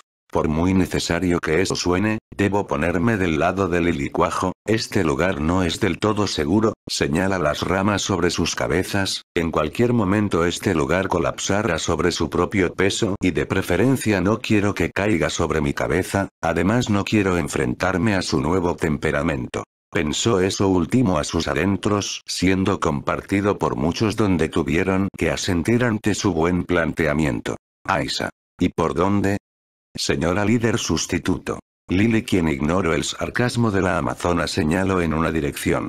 Filbis. Pero por ahí no es donde. Lefilla. Bell. Aisa. Suspira, muy bien, hagamos lo que la nana dice. A Lily se le marca una vena palpitante, podía tolerar lo de Welf pero de los demás no, cuando estaba por usar su nueva lanza la amazona se le acercó al Lido para susurrarle algunas palabras. Aisa. Y mientras bajamos, me gustaría que se pongan al día con la verdad que nos deben, a todos. Lily olvidó su ira suspirando sabiendo que no todo era gratis, ella junto a los demás tendrían muchas cosas que explicar, pero solo después de que pusiera en la letra pequeña una cláusula de confidencia, no necesitaba que personas molestas se enteraran de su secreto. Después que Lefilla aplicara un poco de magia de sanación en todos ellos fue que iniciaron su descenso hacia los pisos profundos. Ya vamos en camino, solo aguanta un poco, Bell. Piso 37. Y finalmente volviendo con el protagonista, este estaba batiéndose a duelo contra el Juggernaut. Bell. Maldición. Salta para esquivar las garras donde tiene que usar su magia demoníaca para cubrirse de la cola que lo empujó unos metros por los aires. A mitad de vuelo responde con unas balas ácidas que el Juggernaut evade usando sus articulaciones para moverse en distintas direcciones. Bell. ¿Se está adaptando? Se dio cuenta de este terrible hecho conforme la pelea se prolongaba. El Juggernaut ya no atacaba con la misma fiereza de antes, por el contrario parecía tomarse su tiempo para estudiar al azabache, patrones de combate, respiraciones, ataques mágicos, su magia demoníaca de teletransporte como la de protección. Todo lo estudiado lo aplicaba logrando esquivar aquellos ataques que podían atravesar su escudo así como detener y redirigir sus ataques cuando el aventurero estaba por abrir un portal o cubrirse con su escudo de energía. En eso Bell por instinto giró su cabeza justo a tiempo para ver pasar la punta de la cola que iba con la intención de dejarle un gran hoyo donde estaba su cerebro. Eso le sacó el susto pero aprovechó para agarrarse donde cuando la cola se retrajo aprovechó el impulso para lanzarle un firebolt el cual como supo se reflejaría en su contra donde aprovecharía con su daga para absorber el ataque y devolverle un argo besta. El plan habría funcionado de no ser porque cuando absorbió el Juggernaut en vez de devolverle su ataque apuntó a otro objetivo. ¿Qué? Con horror vio como su Firebolt amplificado iba en dirección hacia Ryu, Lunoire, Sloe y Aya. Chicas. Las chicas al escuchar su grito se giraron viendo la gran bola de fuego yendo en su dirección, ninguna supo cómo reaccionar, no había dónde escapar, no había forma de bloquear, el aumento de la temperatura las hizo sudar, las llamas se vieron reflejados en sus ojos. ¡Kabum! El Juggernaut vio en dirección de la explosión, saboreando lo que dedujo una temprana victoria, abrió la boca tratando de imitar una sonrisa pero fallando en el propósito sin que se viera tétrico. Tan tan tan. No obstante el sonido de campanas interrumpió su momento, de entre las llamas el cuerpo de un hombre emergió con su pie quemándose por el fuego. Unos orbes carmesí brillaron de aquel hombre mirando a los propios carmesí del Juggernaut. 0, 0, 0, 0, 0, 0, 0, 0, 0, 0, 0, 0, 0, 1. En un parpadeo aquel hombre prendido en llamas se abalanzó con su puño brillando en una luz blanca hasta estar frente de la calamidad quien lo único que pudo hacer fue recibir aquel puño atronador en toda la jeta. Crack. Una grieta se asomó por el centro del cráneo, estaba aturdido sin embargo lejos de quedar fuera de combate por ese golpe el Juggernaut negó agitando su cabeza para sacudirse las telarañas que quedaban antes de soltar un rugido en respuesta. Oh, ah, ah. Los ojos rojos del hombre se entrecerraron. Bell. ¿Resistió mi golpe mejor que antes? Esto no me gusta para nada, mira en otra dirección viendo a las chicas que lo miraban preocupadas, no podré luchar y defenderlas al mismo tiempo. Mira el techo donde se le ocurre una idea. Bell. TSK, no soy el tipo de aventurero que deja una pelea inconclusa, pero las circunstancias a nuestro alrededor no nos dejan de otra, extiende su mano, Firebolt.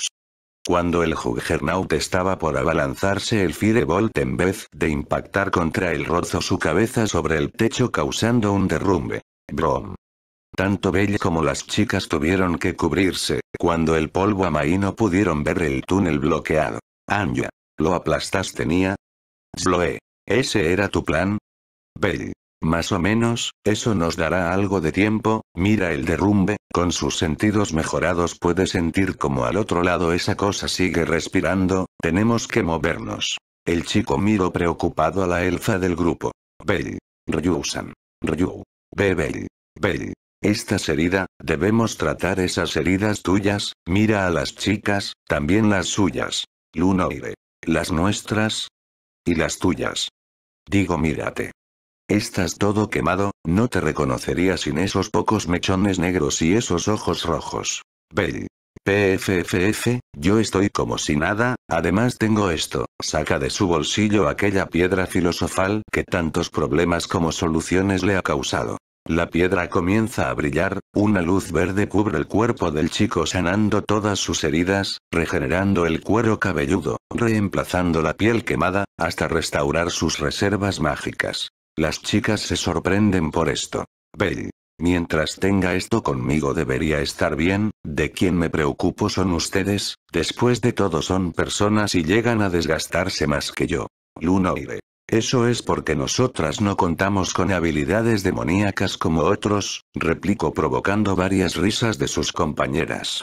Tras caminar un poco fue que pudieron sentarse para recuperar el aliento, Bell colocó suavemente a la elfa mientras comenzaba a atender sus heridas, Anjasloe y Lunoire estaban relativamente bien, algunas magulladuras, torceduras de tobillo, esguince en las muñecas, nada grave.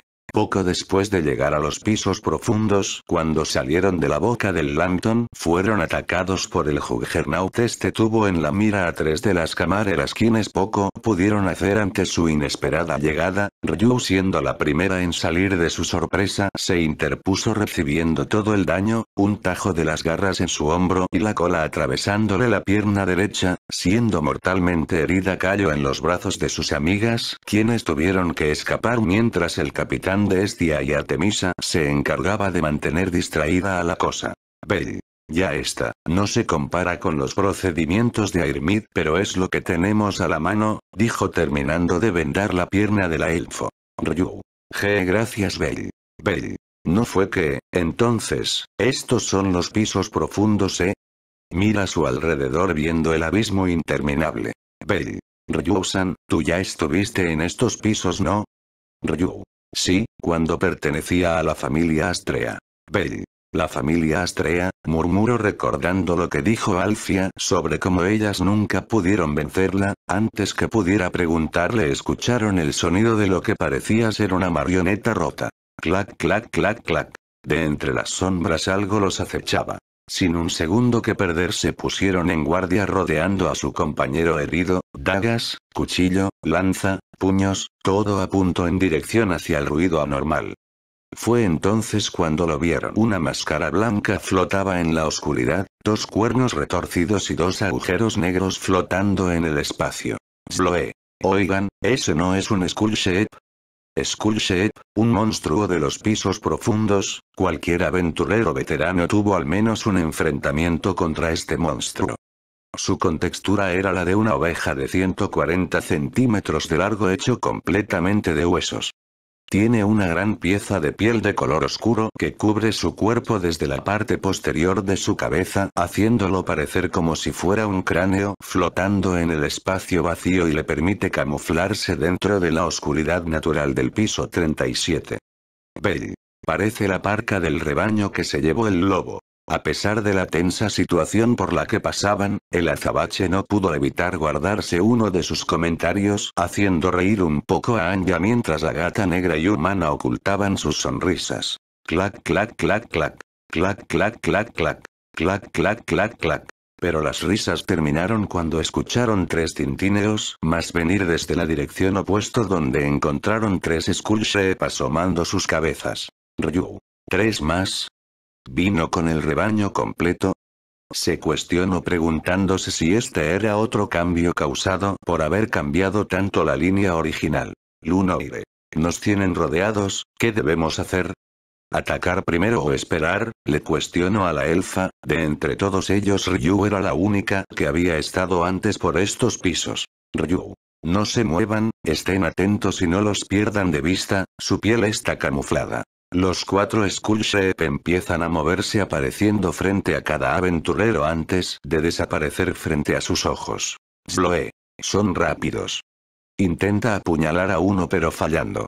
Anya. Sí, pero no más rápido que yo conejo, Nia, empuja su lanza hacia el frente logrando cortarle parte de su piel, Nia.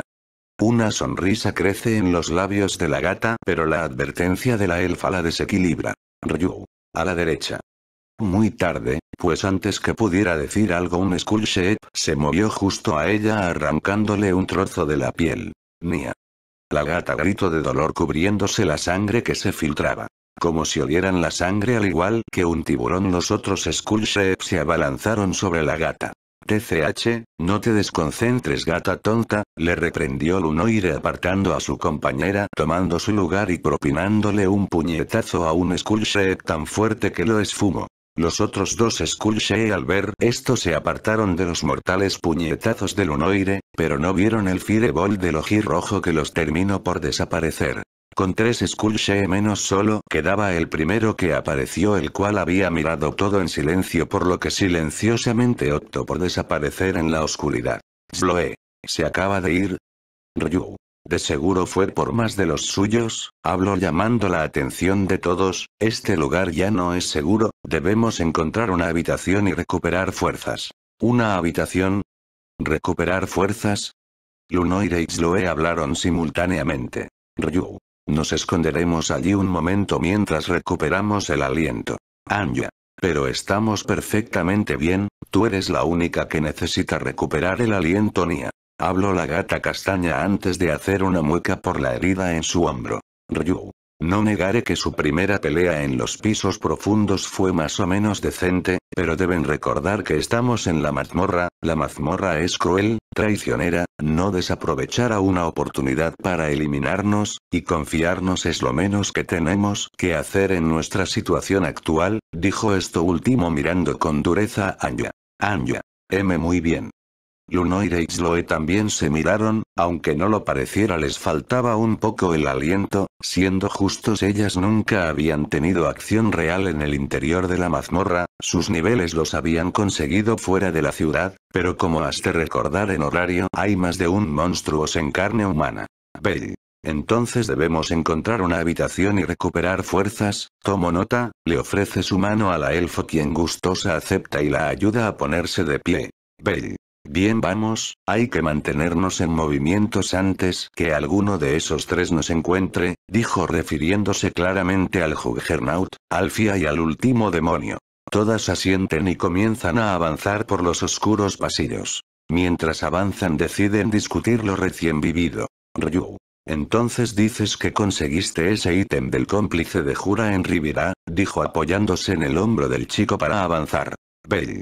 Sí, estaba tratando de incitar a toda la ciudad para casarte, afortunadamente pude convencerlos con ayuda de Phil Wissan y Einsan quienes testificaron en su contra, dijo recordando el nombre de ambas, tenía que aprendérselos si pronto se unirían a la luna hogareña. ¿Quiénes?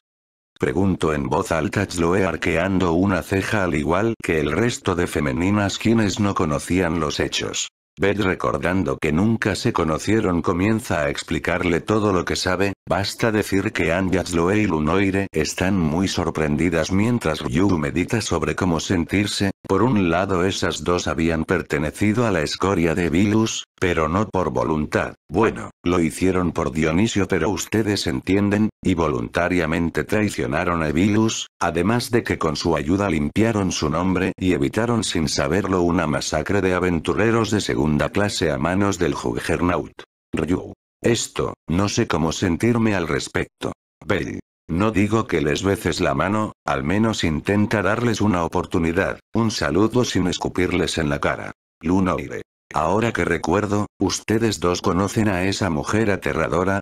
Preguntó a Belly Ryu sintiendo un escalofrío por el recordatorio de aquella mujer que era todo menos humana. Bell. Desafortunadamente, mato a Ghostic Mig, y mermo a buena parte del grupo de subyugación cuando ya todo había acabado, ni siquiera aventureros como Finn, Riveria o el mismo rey pudieron hacerle cosquillas, comento recordando la imagen irreal de Alfia golpeando sin sentido a los aventureros más poderosos de la ciudad. ni siquiera el capitán de la familia Freya.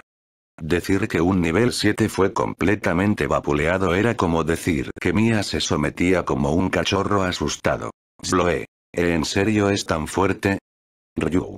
Perteneció a la familia Era, ¿qué esperabas? Bell. Veo que la conoces mejor que yo Ryu, ¿puedes contarnos un poco? Ryu. Suspira, fue durante la era oscura, Evilus estaba más activo que nunca, hubo muchas muertes, entre ellas la hermana menor de la capitana del dios Ganesa, Arde. Era un punto muerto, no podíamos derrotarlos a lo mucho solo frenarlos, pero un día, sentimos la auténtica desesperación. Así comienza a explicar cómo los últimos integrantes de las otras dos familias más poderosas de horario se unieron al enemigo para destruir la ciudad. Uno era Alfia, el otro fue de la familia Zeus, quien terminó asesinando al Behemoth, Zald. Ambos fueron reclutados por el dios Erebus, infringiendo un duro golpe a toda la ciudad, derrotando como si nada a los ejecutivos de las familias Loki y Freya. Sloel Unoire y Bell sienten como sus mundos fueron sacudidos ante el relato de la elfo, mientras Sanya permanecía en un silencio inusual. Bell. Y pensar que pensé cuando recién llegué que las familias Loki y Freya eran unos monstruos en carne humana, sin lugar a duda las familias Hera y Zeus se merecían el título que tenían como los más poderosos. El comentario de Bell se ganó el asentimiento de Sloe y Lunoire, después de esto el miedo que le tenían a su jefa se había reducido en un 73,4%, y posiblemente se reducirá aún más si tienen algún otro encuentro con Alfia el Juggernauto. El demonio. Anya. Bernia, ¿tú crees poder ganar contra alguno de esos tres? Bell. HM, buena pregunta, si le soy sincero hasta yo tengo mis dudas, dijo no pudiendo ocultar sus pensamientos respecto al tema. Podría contra el Juggernaut, pero como siguiera luchando la cosa se adaptaría a su estilo de lucha. Con Alfia la cosa estaba más complicada, la mujer lo destruyó sin vaselina la primera vez que se enfrentaron, si pudo herirla hasta obligarla a retirarse fue solo porque contaba con Asterios y Ais a su lado. En cuanto al último demonio, pues las cosas eran mucho más sombrías, no sabía casi nada de él salvo que era por lo mínimo un nivel 9, un nivel 9. Y ese poderoso ataque, se desayunó al Juggernaut en cuestión de segundos. Las chicas tragaron duro. Bell.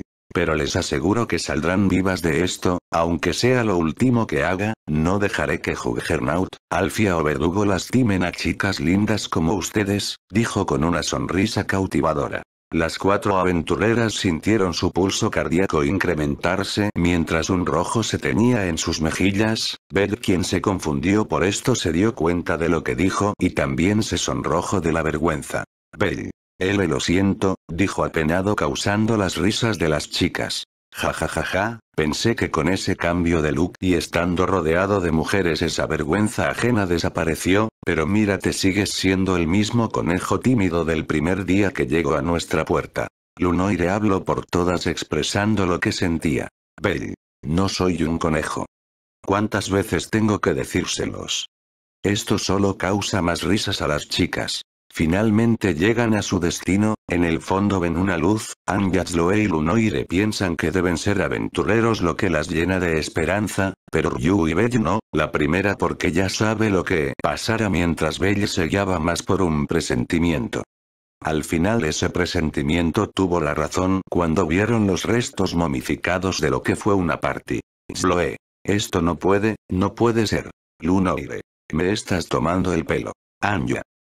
Vamos a morir. Las tres finalmente no pudieron más, habían usado cada pizca de su experiencia pasada como asesina, mercenaria, y ex-aventurera para aguantar el calvario que significó ser cazados como animales por monstruos aún peores que las pesadillas que podía crear la mazmorra, en los pisos profundos sin el equipo de supervivencia, sin nadie que venga a rescatarlos, completamente solos hizo finalmente que su cordura se rompiera. La mazmorra como si oliera su desesperación, una manada de Skullshape emergió de entre las sombras siendo liderada por aquel Skullshape que se les escapó. Jaja, jajajajaja. Lunoire y Sloe no pudiendo más se resignaron y cayeron en la locura no encontrando sentido por el cual seguir luchando. Anya. Este es el fin, aquí es donde nosotros vamos a morir. Paz. De forma repentina el sonido de una cachetada se escuchó por todo el pasillo, fue tan fuerte que incluso los propios monstruos se sorprendieron. Las risas de Zloe y Lunoire se detuvieron para ver lo mismo que los Skullshape. Ryu con la mano extendida le había pegado tremenda cachetada a la gata. Anya. R. Ryu. Ryu. Reacciona Anya, esta no eres tú. Ustedes también Chloe y Lunoire. Sé que es difícil pero no hay razón para llorar, hemos tropezado con los restos de compañeros aventureros, pero eso no cambia en nada nuestra situación. ¿No la cambia? Ryu. Así es, llegamos a nuestro destino ¿no? Todas miran que efectivamente llegaron. Ryu. Nos hemos mantenido con vida, no hemos perdido ningún miembro o dejado a nadie atrás, es un progreso. Todas se dan cuenta que así era. Bell. Es decir, dijo llamando la atención de todas, mientras nos mantengamos unidos, por muy sombrío que se vean las cosas, nos esforzaremos por llegar al sendero luminoso, porque somos aventureros y nosotros nunca rendimos. Las palabras de Ryu y Bell llegan a las chicas, quienes pueden recuperarse de aquella recaída y volverse a poner de pie. Sloe. Gracias, necesitábamos eso. Anya. Sí, aunque era necesario que me golpearas fuerte, preguntó frotándose la mejilla roja. Ryu. No te saque un diente, no te quejes. Bell. Muy bien, mostrémosles a estos corderos quién es el lobo aquí. Bye. Con el espíritu renovado se lanzan al mismo tiempo que los Skullshape chocando en el centro de la habitación con un estruendo. Bell y Lunoire avanzan mientras Chloe retrocede atrayendo a dos Skullshape sobre ella solo para ser perforados por la lanza dorada de Anya. Lunoire. Deteniendo a un Skullshape con las manos, estas cosas son muy molestas, le intenta morder la mano y en respuesta de un puñetazo le rompe la quijada esfumándolo. Ryu. Sloe debajo del cuello. Sloe es abordada por un Skullshape, pero siguiendo el consejo de Ryu usa su cuchillo y deslizándolo al costado derecha logra romper su piedra mágica esfumándolo. Sloe. Nia, ahora me toca a mí. Usando su magia Félez Cruz logra crear espejismos de sí misma para confundir a las cabras que le, le permite moverse y asesinarlas en el acto. Lunoire y Anya no se quedan atrás, aprovechando al máximo sus habilidades como luchadora experta, durabilidad sorprenderte y resistencia anormal respectivamente son capaces de eliminar a un buen número de Skullshape, donde cada vez que uno se les escapaba este era automáticamente eliminado por el azabache, quien se encargó de cubrirles las espaldas, viendo con una sonrisa cómo se desarrollaba la pelea. Pudo haber intervenido desde el principio y haber acabado con todos usando su golpe que supera la barrera del segundo, sin embargo sorprendentemente por consejo de sus demonios, quienes le dijeron que dejara a las niñas pelear, sus razones fueron según ellos para que se fortalecieran y no estorbaran a futuro al enfrentarse con oponentes insignificantes, es decir esto las ayudaría a subir de nivel en el corto tiempo, pues si algo habían aprendido con él era que las situaciones de muerte es donde más se desarrollaban, solo pregúntales a la luna hogareña y a ver qué dicen. Esto en realidad tenía sentido y podía razonar, mientras fueran simples monstruos podía dejarlas pelear mientras él se encargaba en reunir toda la energía que necesitara para la verdadera pelea. Nia. ¡Cuidado! Anya se dio cuenta que unos Skullshape se les habían escapado, su objetivo era la elfo. Lunoire y Sloe también se dieron cuenta, pero los monstruos que enfrentaban lo les dejaban pasar.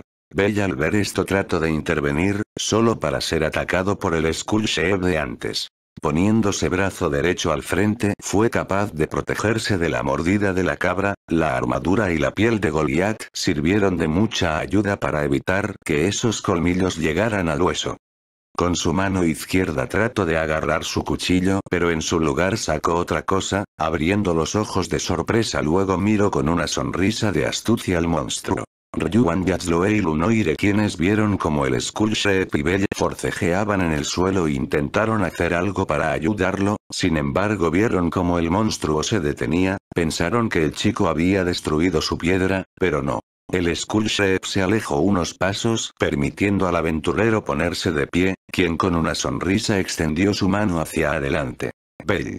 Skullshape sentado. Para sorpresa de las chicas y monstruos, quienes se detuvieron al ver a uno de los suyos, obedecer la orden de un humano. Bell. Skullshape rueda. La cabra monstruo después de sentarse giró sobre el suelo como si un cachorro se tratase para luego acatar la orden de su amo. Bell. Skullshape, ataca.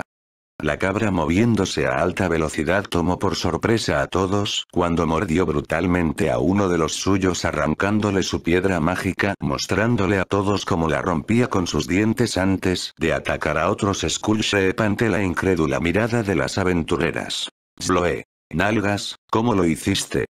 Bell. Vi mi oportunidad y la tomé, las chicas no entendieron, tomé clases de domador de monstruos con el dios Ganesa, revela aquel ítem que confiscó de Tars.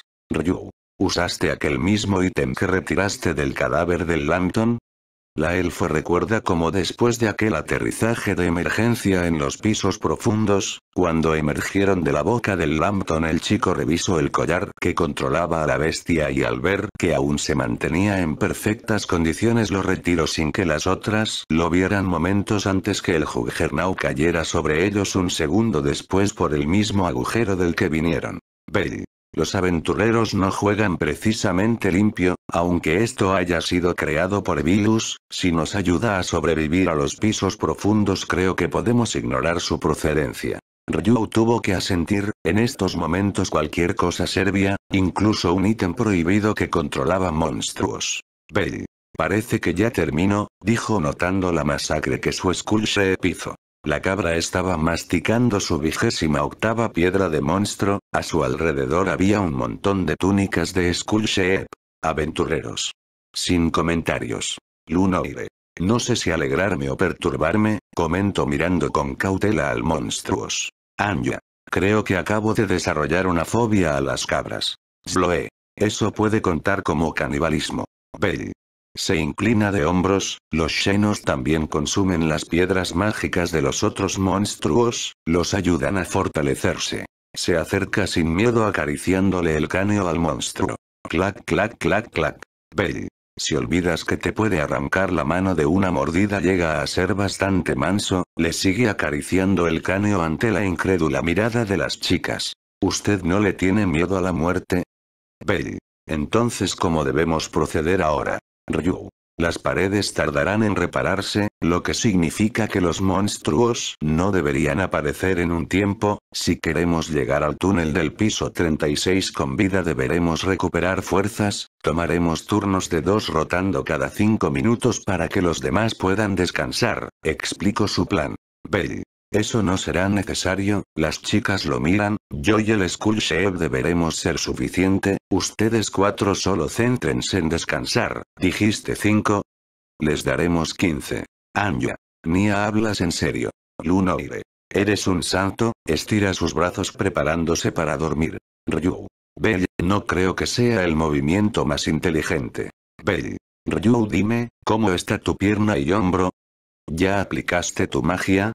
La elfa se queda callada, había usado su magia en ella misma para sanarse y no ser una carga, pero por alguna razón sus heridas no sanaron del todo, su hombro y pierna aunque estaban cerrados dolían como el infierno, sea lo que sea que el ítem del azabache le hizo al Juggernaut, aparte de darle una segunda vida parece como si le hubiera dado una nueva habilidad de daño.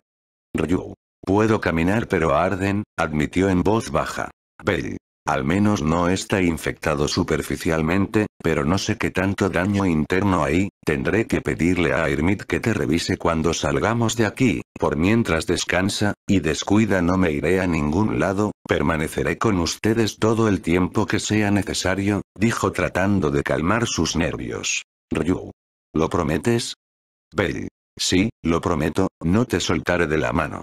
Ryu apretó su mano, no quería pero en el fondo sabía que necesitaba esta siesta, al menos no tenía que preocuparse de que el azabache quedara vulnerable, no mientras tuviera un monstruo domesticado a su lado. Ryu. Confiaré en ti, Belle, pensó cerrando sus ojos cayendo en los brazos de Morfeo. Cuando cerró los párpados una negra oscuridad cubrió su campo de visión para luego una voz muy familiar la llamara por su honorífico. Ryusan, ya terminaron sus cinco minutos. ¿Eh? Confundida abre los ojos solo para encontrarse con unos rubíes que la miraban preocupada, nada extraño de no ser porque en vez de ver cabellos negros vio unos cabellos blancos. Bella. ¿Cuándo tu color blanco volvió a la normalidad? Pregunto extrañada. Ryusan pero ¿de qué habla? Mi cabello siempre ha sido blanco, cuestionó Bello confundido por la pregunta de la elfo.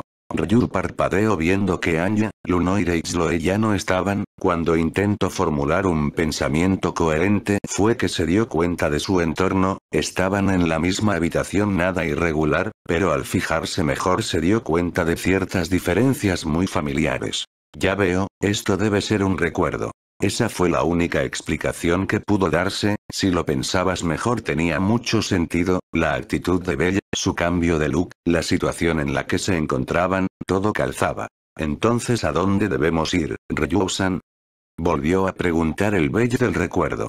La elfa sin siquiera reaccionar vio como su cuerpo comenzaba a moverse por su cuenta y respondía al albino mientras la Ryu original solo veía con nostalgia esto, cuando tienen que profanar los cadáveres de los aventureros hace una mueca. No estuvo correcto pero lo hicimos sabiendo que era la única forma de sobrevivir, aún así Bella no se sintió cómodo al respecto, tuve que pasar el resto del camino tratando de hacerlo sentir mejor, pensó sintiéndose decepcionada de sí misma por haber incitado a un alma tan pura e inocente para realizar una acción tan repugnante.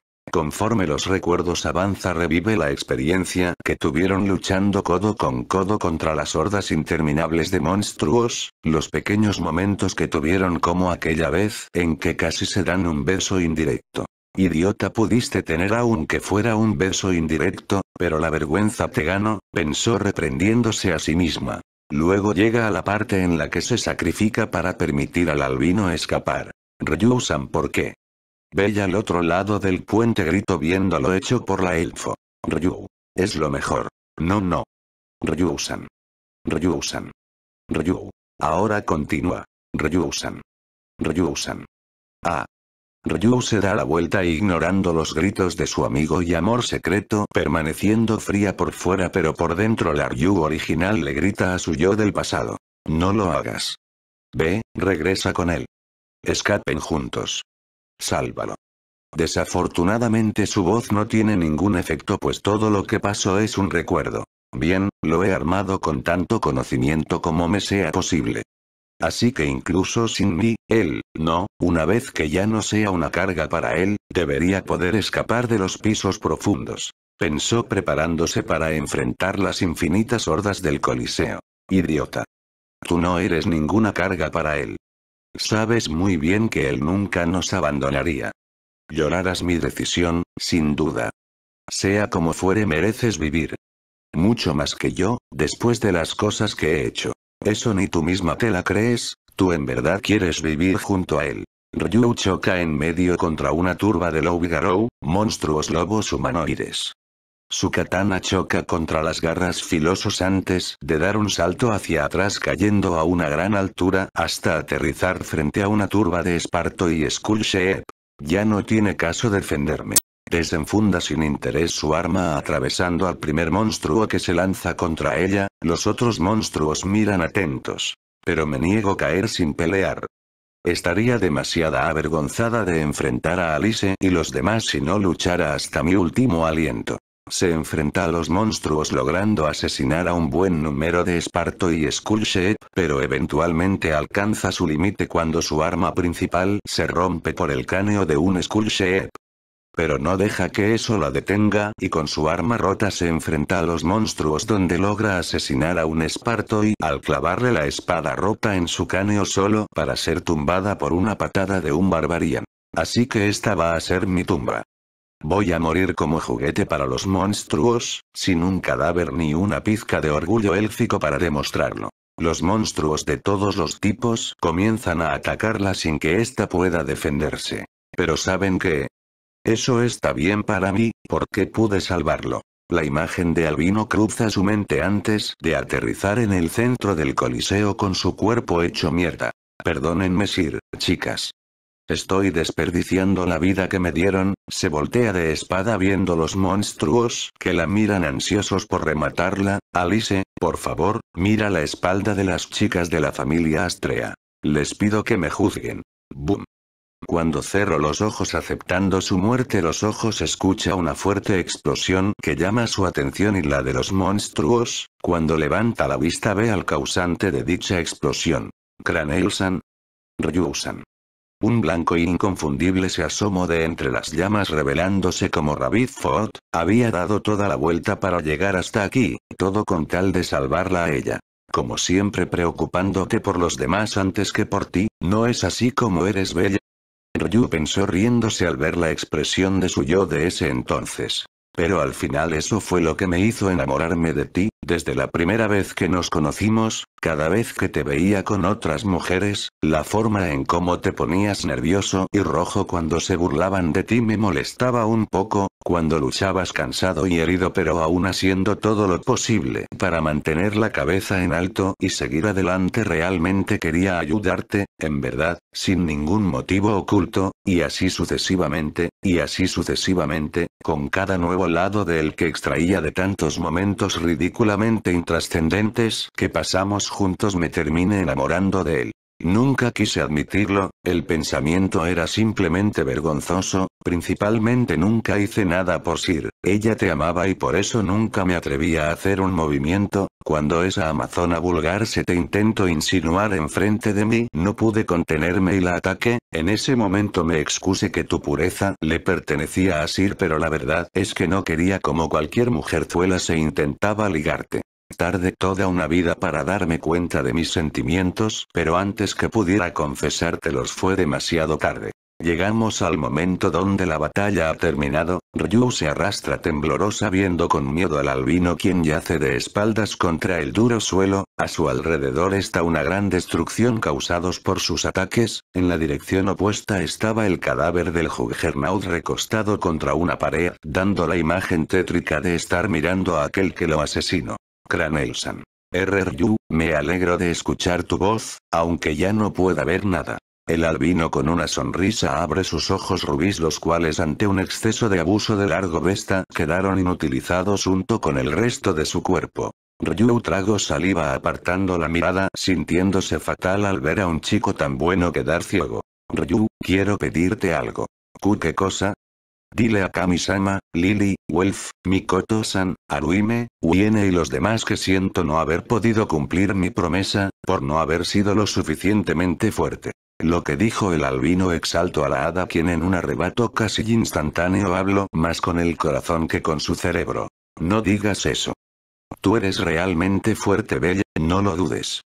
El chico no pudo evitar mostrar una sonrisa triste a la chica. Realmente no, no fui lo suficientemente fuerte como para salvar a Uiene, no fui lo suficientemente fuerte para cumplir mi promesa de vivir juntos bajo el sol, no fui lo suficientemente fuerte como para tener mi revancha contra Asterios, no fui lo suficientemente fuerte para salvarla, no fui lo suficientemente fuerte para alcanzarla a ella. Entre su nula visión pudo divisar dos siluetas, la primera fue una de larga cabellera azulada mientras la segunda fue una silueta dorada la cual intenta alcanzar con su mano pero se esfuma frente a él. Y no fui lo suficientemente fuerte, como para, no dejar sola a mi diosa. ¡No! Tú no morirás. Ryu al escuchar lo último que dijo perdió los estribos, no quería que esto pasara, siempre soñó que una vez muriera sería juzgada por sus compañeras, pero ahora quien moría en su lugar por sus errores era un chico que nada tenía que ver. Al menos fui lo suficiente fuerte como para salvar a una hermosa chica, en la mazmorra. Pone una débil sonrisa intentando levantar su mano para acariciar los mechones rubios de la elfo, pero sus extremidades ya no responden, uno de sus brazos fue completamente pulverizado por ese último argonaut que cargó. Ryu con sus sentidos de elfo puede escuchar unas voces a la distancia, lo que la llena de esperanza y se giró hacia su amigo poniendo la mejor de sus sonrisa. ¿Los oyes? Finalmente llegó la ayuda, Beth Cranelsan podrás vivir y volverte aún más fuerte, cumplirás todas tus promesas, tendrás tu revancha, superarás a la princesa de la espada, me aseguraré de eso. Cada palabra que la elfo decía era con tal de provocar una reacción en el albino, el cual desafortunadamente ya no respondió a lo que decía la elfo. Cranelsan. Lo mueve pero no reacciona, Cranelsan. Lo zarandea con más fuerza pero sin éxito, Bella. El albino cedió a sus heridos y había pasado a mejor vida. Alguien por favor. ¡Ayuda! Bell respóndeme. No te vayas tú también. No tú. Por favor. Silencio. Bell. Bell. Ryu. La elfa abre los ojos regresando a la realidad donde escucha a la azabache llamarla por su nombre. Mira a su alrededor donde ve a sus amigas todavía dormidas mientras frente a ella estaba un preocupado rojo que la miraba. Ve Bell. ¿Eres tú? Bell. ¿Quién más sería, Mimic? El demonio en su interior bufo. Bell. ¿Estás bien? Parece como si hubieras tenido una mala pesadilla. Ryu. ¿Eh? Ve bueno sí, solo malos recuerdos que preferiría olvidar, dijo apartando la mirada avergonzada. Bell. Entiendo, de seguro pensó en su antigua familia, pensó a sus adentros no sabiendo que ese pensamiento habría sido acertado en otra línea de tiempo. Con el ojí rojo distraído Ryu recapituló toda su vida, tanto esta como la anterior donde pensó para sí misma. No pude confesarme y desaproveché la oportunidad que pude tener con él, pero ahora se nos entregó una segunda oportunidad para hacer las cosas correctamente. Recuerda que todo lo que hicieron fue para hacer que su amigo barra enamorado sobreviviera a esto, pero lo que ninguno de ellos contó fue la aparición de aquellos demonios y la de Alfia cuya interferencia estropeó todo y los puso en el mismo lugar, solo que diez veces peor. Ryu. ¿Será que el mundo quiere vernos sufrir? Pensó antes de negar, sea como sea no pienso rendirme, no cuando la vida de mis amigos depende de un hilo. Con eso en mente se preparó para lo que sería un viaje turbulento, entre monstruos y enemigos poderosos deberán usar cada pizca de su ingenio si quieren sobrevivir.